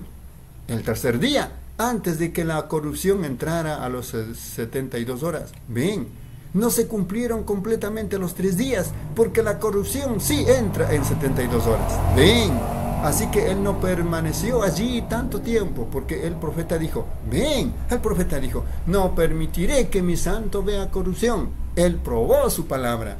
109. Él sanó a los enfermos, los cojos, para probar su palabra que Isaías y los demás profetas hablaron. Él envió el Espíritu Santo en el día de Pentecostés para probar su palabra. Si desean apuntar algunas de estas escrituras, Joel 2.28, él dijo, acontecerá en los últimos días, dice Dios, derramaré de mi espíritu sobre toda carne y sobre mis siervos y mis siervas derramaré de mi espíritu. Vuestros jóvenes verán visiones, vuestros ancianos soñarán sueños, y etc. Él lo probó al derramarlo. También él había dicho antes de ese tiempo, en Lucas 24, 49, si lo desean apuntar, él dijo, he aquí, yo enviaré la promesa de mi Padre sobre vosotros. Pero quedaos vosotros en la ciudad de Jerusalén hasta que seáis investidos de poder desde lo alto.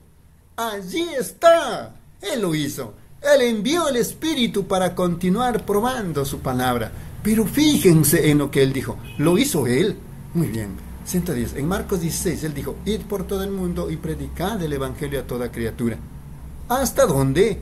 A todo el mundo. ¿A quién? A toda criatura. El que creyere y fuere bautizado será salvo, mas el que no creyera será condenado. Y estas señales seguirán a los que creen. Él dijo en Marcos 4, él dijo en Juan 14, 12 también, dijo, el que creyere en mí, no una creencia manufacturada, pero el que creyere en mí, las obras que yo hago, Él también las hará. Se necesita el mismo espíritu que estaba en Él para hacer la misma obra. Porque el espíritu venía para manifestar la palabra prometida en el, en el futuro. Ven, Él preparó el camino. Él sabía que estas cosas iban a suceder.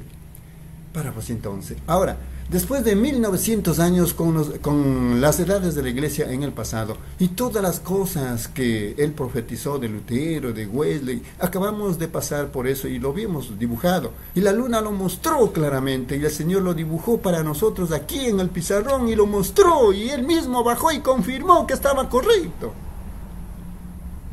Después de 1900 años, y estamos aquí al final de la edad de la iglesia de la Odisea. Él prometió en Lucas 17:30 que este mismo Hijo del Hombre, Él lo prometió, sería revelado en los últimos, eh, perdón, revelado en los días, así como fue en Sodoma, sobre la tierra. Lo hizo Él, tiene que llegar a suceder, es imposible. Ahora recuerden, Él vino en tres hombres. Él vino en tres nombres. El Hijo del Hombre, un profeta. El Hijo de Dios, el Espíritu. El Hijo de David para el milenio. Pero aquí en medio, en esta conjugación, conjunción, perdón, ahora según sus propias palabras, en el, día cuando el Hijo del Hombre será revelado, revelándose a sí mismo, como que, no Hijo de Dios, Hijo del Hombre, se, se revelará en una manera distinta. Ahora, ¿qué muestra eso? Malaquías 4, exactamente correcto. Ven, el Hijo del Hombre se revelará a sí mismo, no en las grandes denominaciones y cosas, como hemos tenido a través de las edades, pero Él se manifestaría nuevamente como el Hijo del Hombre para manifestar Malaquías 4. Y en aquel día yo os enviaré a Elías el profeta y él hará volver el corazón de los hijos hacia la fe de los padres apostólicos, apartándolos de todo este denominacionalismo y nuevamente a la palabra original para sacar el árbol novia del último día como lo prometió. Al tiempo de la tarde habrá luz. No que a través de un día de niebla habrá luz. Será un día en, en el que no se podrá decir si es día o noche. Ven, es que se está formando el cuerpo. Pero la misma cabeza que estaba aquí en el este está aquí nuevamente en el oeste. Habrá luz en el tiempo del atardecer. Oh, hermanos, siento deseo de cantar un himno. Ven, habrá luz en el tiempo de la tarde. La senda la gloria seguramente hallarán por medio del agua. Está la luz de hoy, sepultada en el precioso nombre de Jesús. Jóvenes y ancianos, arrepiéntanse de todos sus pecados y el Espíritu Santo seguramente entrará. Las luces del atardecer han llegado. Es un hecho que Dios y Cristo uno son. 112. Y el Hijo del Hombre se está revelando a sí mismo en el mismo poder que Él era, no a través de la edad de la iglesia, por justificación, santificación, todas estas cosas. Pero el Hijo del Hombre, ¿quién es el Hijo del Hombre? La palabra. Y la palabra es más eficaz, más poderosa que toda espada de dos filos y discierne los pensamientos que están en el corazón. ¿Qué tenía él que hacer? Él tiene que probar esa palabra. ¿Qué hará él? Nótenlo. Cuando lo vemos aconteciendo, véanlo en la misma forma en que él estaba aquí en el principio, la columna de fuego. Vaya, probando que él es de Hebreos 13:8, donde dice Jesucristo es el mismo ayer y hoy y por los siglos. ¿Qué fue Jesucristo el mismo ayer? Ese era Cristo que estaba en el desierto con Moisés. ¿Cuántos saben que la Biblia dijo, eh, dice eso? Ayer. Ese era Cristo cuando Pablo estaba hablando de hoy. ¿Creen eso ustedes en el Nuevo Testamento? Luego el Hijo del Hombre, el mismo Cristo en los últimos días. Ven, muy bien. Noten también en Juan 14, 12, él dijo, las obras que yo hago también vosotros las haréis. Todas estas otras escrituras, ¿qué hace él?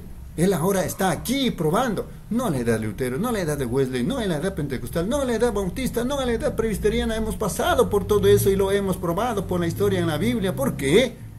La edad del Hijo del Hombre siendo revelada para traer estas cosas, para cumplir la palabra cuando todo debe ser cumplido. Bien, lo vemos y es la verdad. Amén.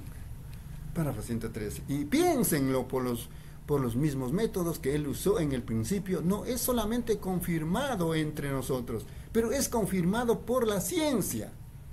Ellos tienen que reconocer que es correcto. George J. Lacey, el hombre que encabeza la rama de la FBI en cuanto a la identificación de documentos, dijo, la luz pegó en el ente. Yo mismo dije que era, una eh, que era psicología, pero dijo, señor Branham, esta cámara no toma psicología, allí está.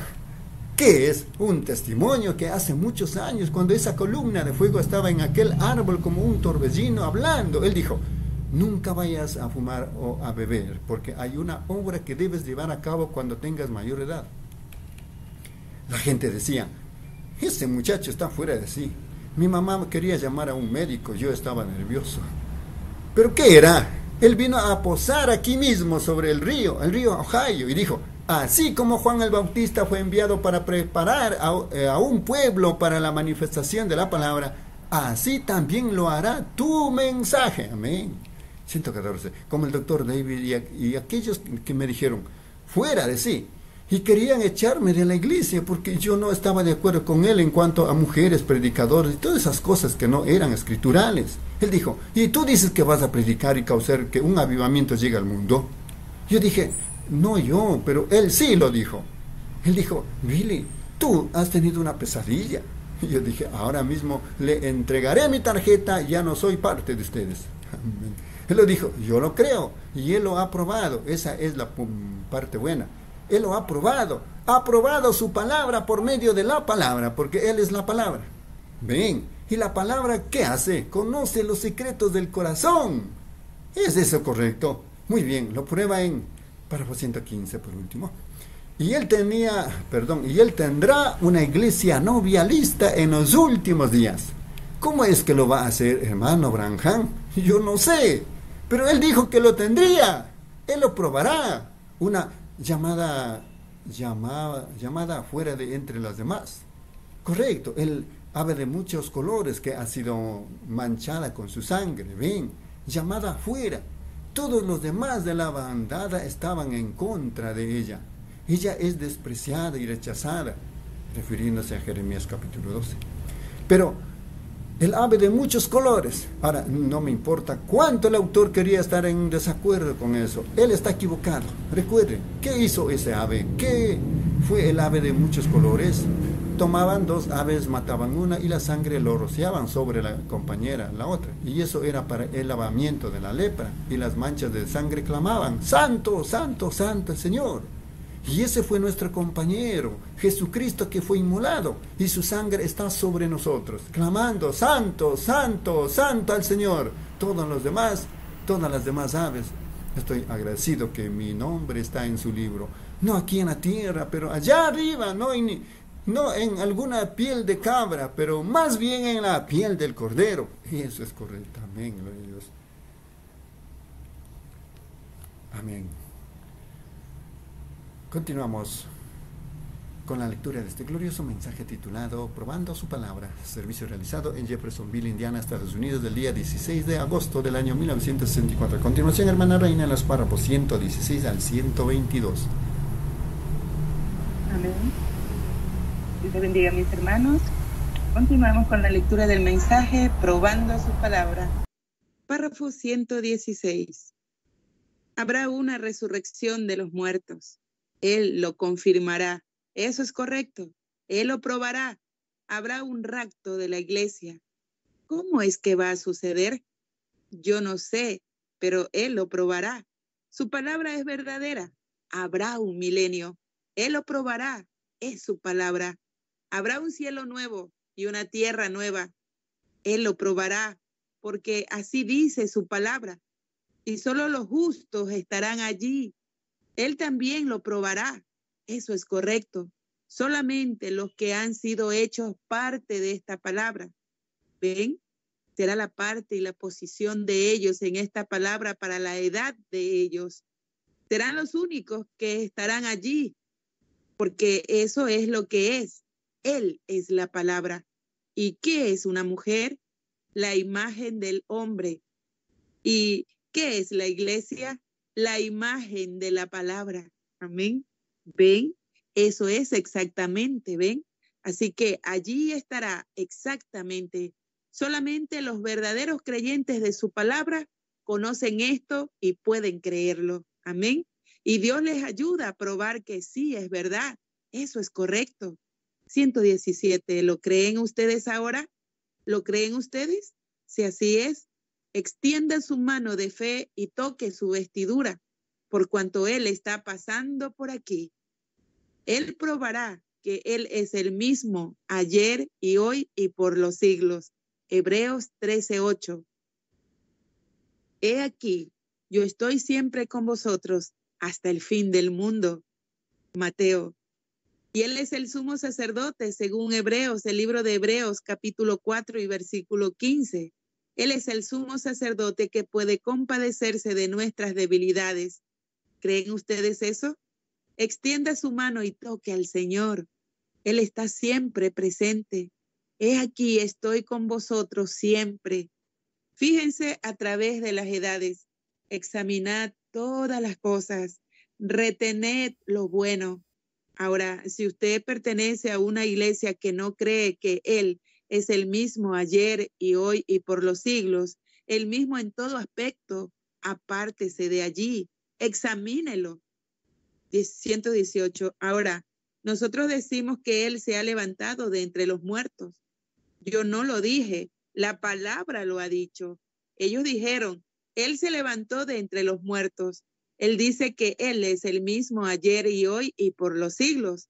¿Creen ustedes eso? Él prometió que estas cosas sucederían en los últimos días, que el mismo Hijo del Hombre se manifestaría. Ahora, recuerden, ese no fue Jesús hablando allá con Abraham, que podía discernir los pensamientos en la mente de Sara detrás de él. Ese no fue Jesús. Él aún no había nacido, pero era un hombre en carne humana, que Abraham llamó Elohim, el gran todopoderoso, mostrando. Y Jesús dijo, así como fue en los días de Sodoma. Ahora pongan atención. En los días de Sodoma, así será en la venida del Hijo del Hombre, cuando el Hijo del Hombre se manifieste. Ya no como iglesia, ¿ven? Ya no. La novia es llamada, ¿ven? En aquel día el Hijo del Hombre será revelado. ¿Qué? Para unir la iglesia a la cabeza unirlos, el casamiento de la novia. El llamado del novio vendrá aquí por esto, cuando el Hijo del Hombre baje y venga en carne humana para unir a los dos. La iglesia tiene que ser la palabra. Él es la palabra y los dos se unen. Y para hacer eso, se necesitará la manifestación de la revelación del Hijo del Hombre no algún hombre eclesiástico. Yo, yo no sé, yo, pueden ver lo que quiero decir. ¿Ven? Es el Hijo del Hombre, Jesucristo, que descenderá en carne humana entre nosotros y hará tan real su palabra que eso lo unirá a él con la iglesia, la novia. Y entonces ella se irá al hogar, a la cena de las bodas. Amén. Ella ya está unida, ¿ven? Vamos a la cena de las bodas, no al casamiento. Llenad vuestra carne, mismos de toda carne de los hombres poderosos, porque han llegado las bodas del Cordero. Pero en el rapto es que subimos a la cena de las bodas. Cuando la palabra aquí se une con la persona, los dos llegan a ser uno. Y entonces, ¿qué hace? Manifiesta al Hijo del Hombre nuevamente, no a los teólogos de la iglesia, el Hijo del Hombre. La palabra y la iglesia llegan a ser uno. Cualquier cosa que hizo el Hijo del Hombre, Él fue la palabra. La iglesia hace la misma cosa. 119. ¿Cómo es que Él se ha probado a través de las edades? Por medio de los profetas, los cuales podían hablar la palabra conociendo los pensamientos. Así es como él fue conocido, así. Fue prometido en las edades de iglesia y pasó hasta donde no sería ni día ni noche. Pero en el tiempo de la tarde, cuando el Hijo del Hombre sería revelado, eso volvería. Habrá luz en el tiempo de la tarde. ¿Ven? ¿Qué hace él? Él prueba su palabra. Ahora, fíjense allá atrás. ¿Vino él como una virgen o vino más bien a través de una virgen como dijeron? ¿No vino él exactamente como él dijo? Fíjense hoy en día, él ha probado su palabra, a pesar de cuántos ateos, cuántos impíos, cuánta indiferencia. Él siguió hacia adelante y probó su palabra. Aquí estamos. Hemos pasado por esta edad de tantas iglesias y cosas. Nos habíamos apartado como hicieron ellos entre Malaquías y la venida de Cristo. Habían cesado todos los profetas y cosas y tenían tantos dignatarios y demás, pero exactamente, fíjense qué clase de carácter Él les envió. Exactamente aquel Elías, un odiador de mujeres inmorales, que se ponen tanta pintura, polvos y maquillaje y toda esa cosa y a los eclesiásticos, él los liquidó a diestra y a siniestra. Salió directamente del desierto. Él les habló claro a todos ellos y dijo, el Mesías ya está en camino. Yo lo conoceré a él cuando llegue. Yo se los presentaré. Amén. No comiencen a pensar que pertenecen a esto o aquello, así como hizo Elías. 120.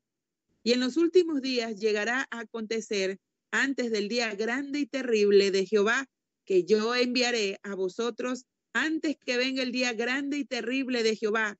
Yo os enviaré a Elías, el profeta, y él restaurará la fe de los hijos nuevamente a la de los padres. Y fíjense, la fe de los padres a los hijos, los judíos, ¿ven? la promesa de ellos en las escrituras, los gentiles y de dónde habían caído. Fíjense cómo eso está en dos partes tan perfectamente, exactamente. Y aquí lo vemos, Dios probando su palabra. 121. Inclinemos nuestros rostros por un momento, amado Dios, quien trajo de entre los muertos a nuestro Señor Jesús para probar tu palabra, y Él está vivo hoy, lo cual prueba tu palabra He aquí, yo estoy con vosotros siempre, aún hasta la consumación. Prueba su palabra, Jesucristo el mismo ayer y hoy y por los siglos. Pero cuando por los siglos, quizás algunos, quizás algunos tropiecen. Señor, yo no me detuve para explicarlo, pero por los siglos ellos saben que es simplemente un, un espacio de tiempo. Y ahora, después de esta edad, no habrá más por los siglos, será eternidad. Así que Él fue el mismo Dios que estaba en Moisés y en los profetas. Luego, después de un espacio de tiempo, Él vino y se hizo hombre, manifestándose como el profeta Dios.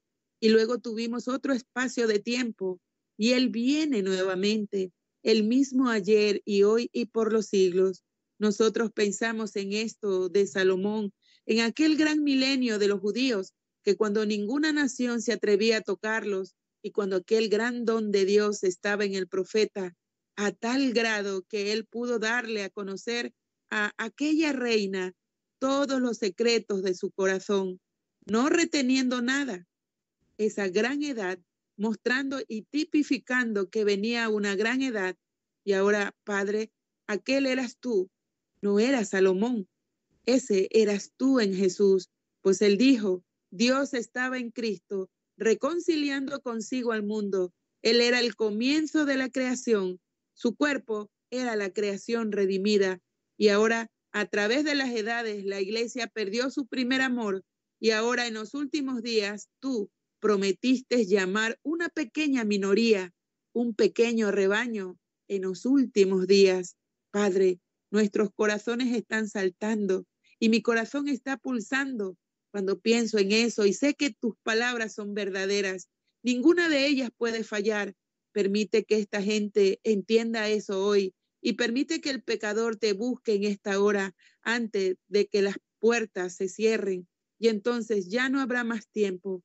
Permite que la novia, a medida que ella empiece a perder el paso con esto y aquello, que ella vuelva al paso correcto como fue mostrado en, en la visión hace algunas semanas. Yo te ruego, Padre, que bendigas ahora y sanes a los enfermos. Aquí hay telas, pañuelos, de que han venido de distintas partes. Y ahora en escritura dice, llevaban a los enfermos los pañuelos y delantales, pañuelos del cuerpo de Pablo, y Dios los sanó. Ahora nosotros sabemos que no somos San Pablo, pero sabemos que no fue San Pablo, sino que fue la fe de la gente en, en que Él era tu siervo, Señor. esta gente no viajaría estos centenares de millas si no creyera, Señor. Recompensa su fe mientras yo, no es que yo unja los pañuelos, Pablo nunca los ungió, él los tomó de su cuerpo. Y mientras yo tomo estos pañuelos, Señor, no que mi cuerpo, porque no sirve para nada, pero sí es tu propiedad redimida. Así que ruego, Dios, que tú honres su fe, que cada uno de ellos sea sanado para el bien del reino de Dios. Ahora, Señor, siendo un mensaje largo, no era mi intención que pasara de unos cuantos minutos, pero han pasado dos horas o más. Ahora, Señor, permite que los enfermos sean sanados, permite que el pueblo pueda ver que tú estás aquí, que yo no he dicho esto de mi parte, eres tú, Señor, y yo oro en el nombre de Jesús. Amén. Dios le bendiga, mis hermanos. Amén, amén, hermana Reina. Dios le bendiga la lectura, mis amados hermanos y hermanas. Por el tiempo concluimos con este glorioso compañerismo. Esta es la lectura de los mensajes de nuestro profeta Elías. Si Dios permite, el día de mañana continuaremos compartiendo la lectura de este mensaje a partir de los párrafos 124 de este mensaje titulado Probando su palabra.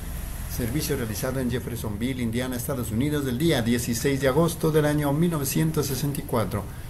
Agradeciendo a nuestro Padre Celestial y a todos ustedes por, por este glorioso compañerismo, nos despedimos con una oración. Gracias, Padre Celestial, una vez más, Señor, en gratitud de todas las cosas que tú has hecho. Tú has probado tu palabra, siendo tú mismo el de ayer, hoy y por todos los siglos, Padre.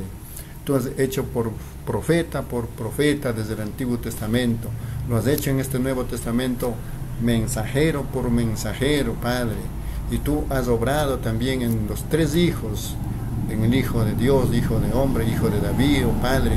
Y tú has obrado, mostrado tu palabra entre Hijo de Dios y Hijo de David. Iba a manifestar otra vez el Hijo de hombre. Oh glorioso Padre Celestial, cómo estamos agradecidos porque tú has probado con tu palabra. Muchas gracias, Señor, los hermanos y las hermanas que también han estado en la cena, Señor, juntamente. Te decimos gracias, Padre, por este alimento espiritual para vuestras almas, alimento glorioso de águilas de este último tiempo, Padre. Si hay un día más, regresaremos nuevamente contentos y alegres, porque esta palabra es vida eterna. Gracias, Padre amado, en el nombre del Señor Jesucristo. Amén, mis amados hermanos, hermanas. El Señor Jesucristo los bendiga ricamente. Amén, hermano Alfonso. Dios le bendiga. Shalom.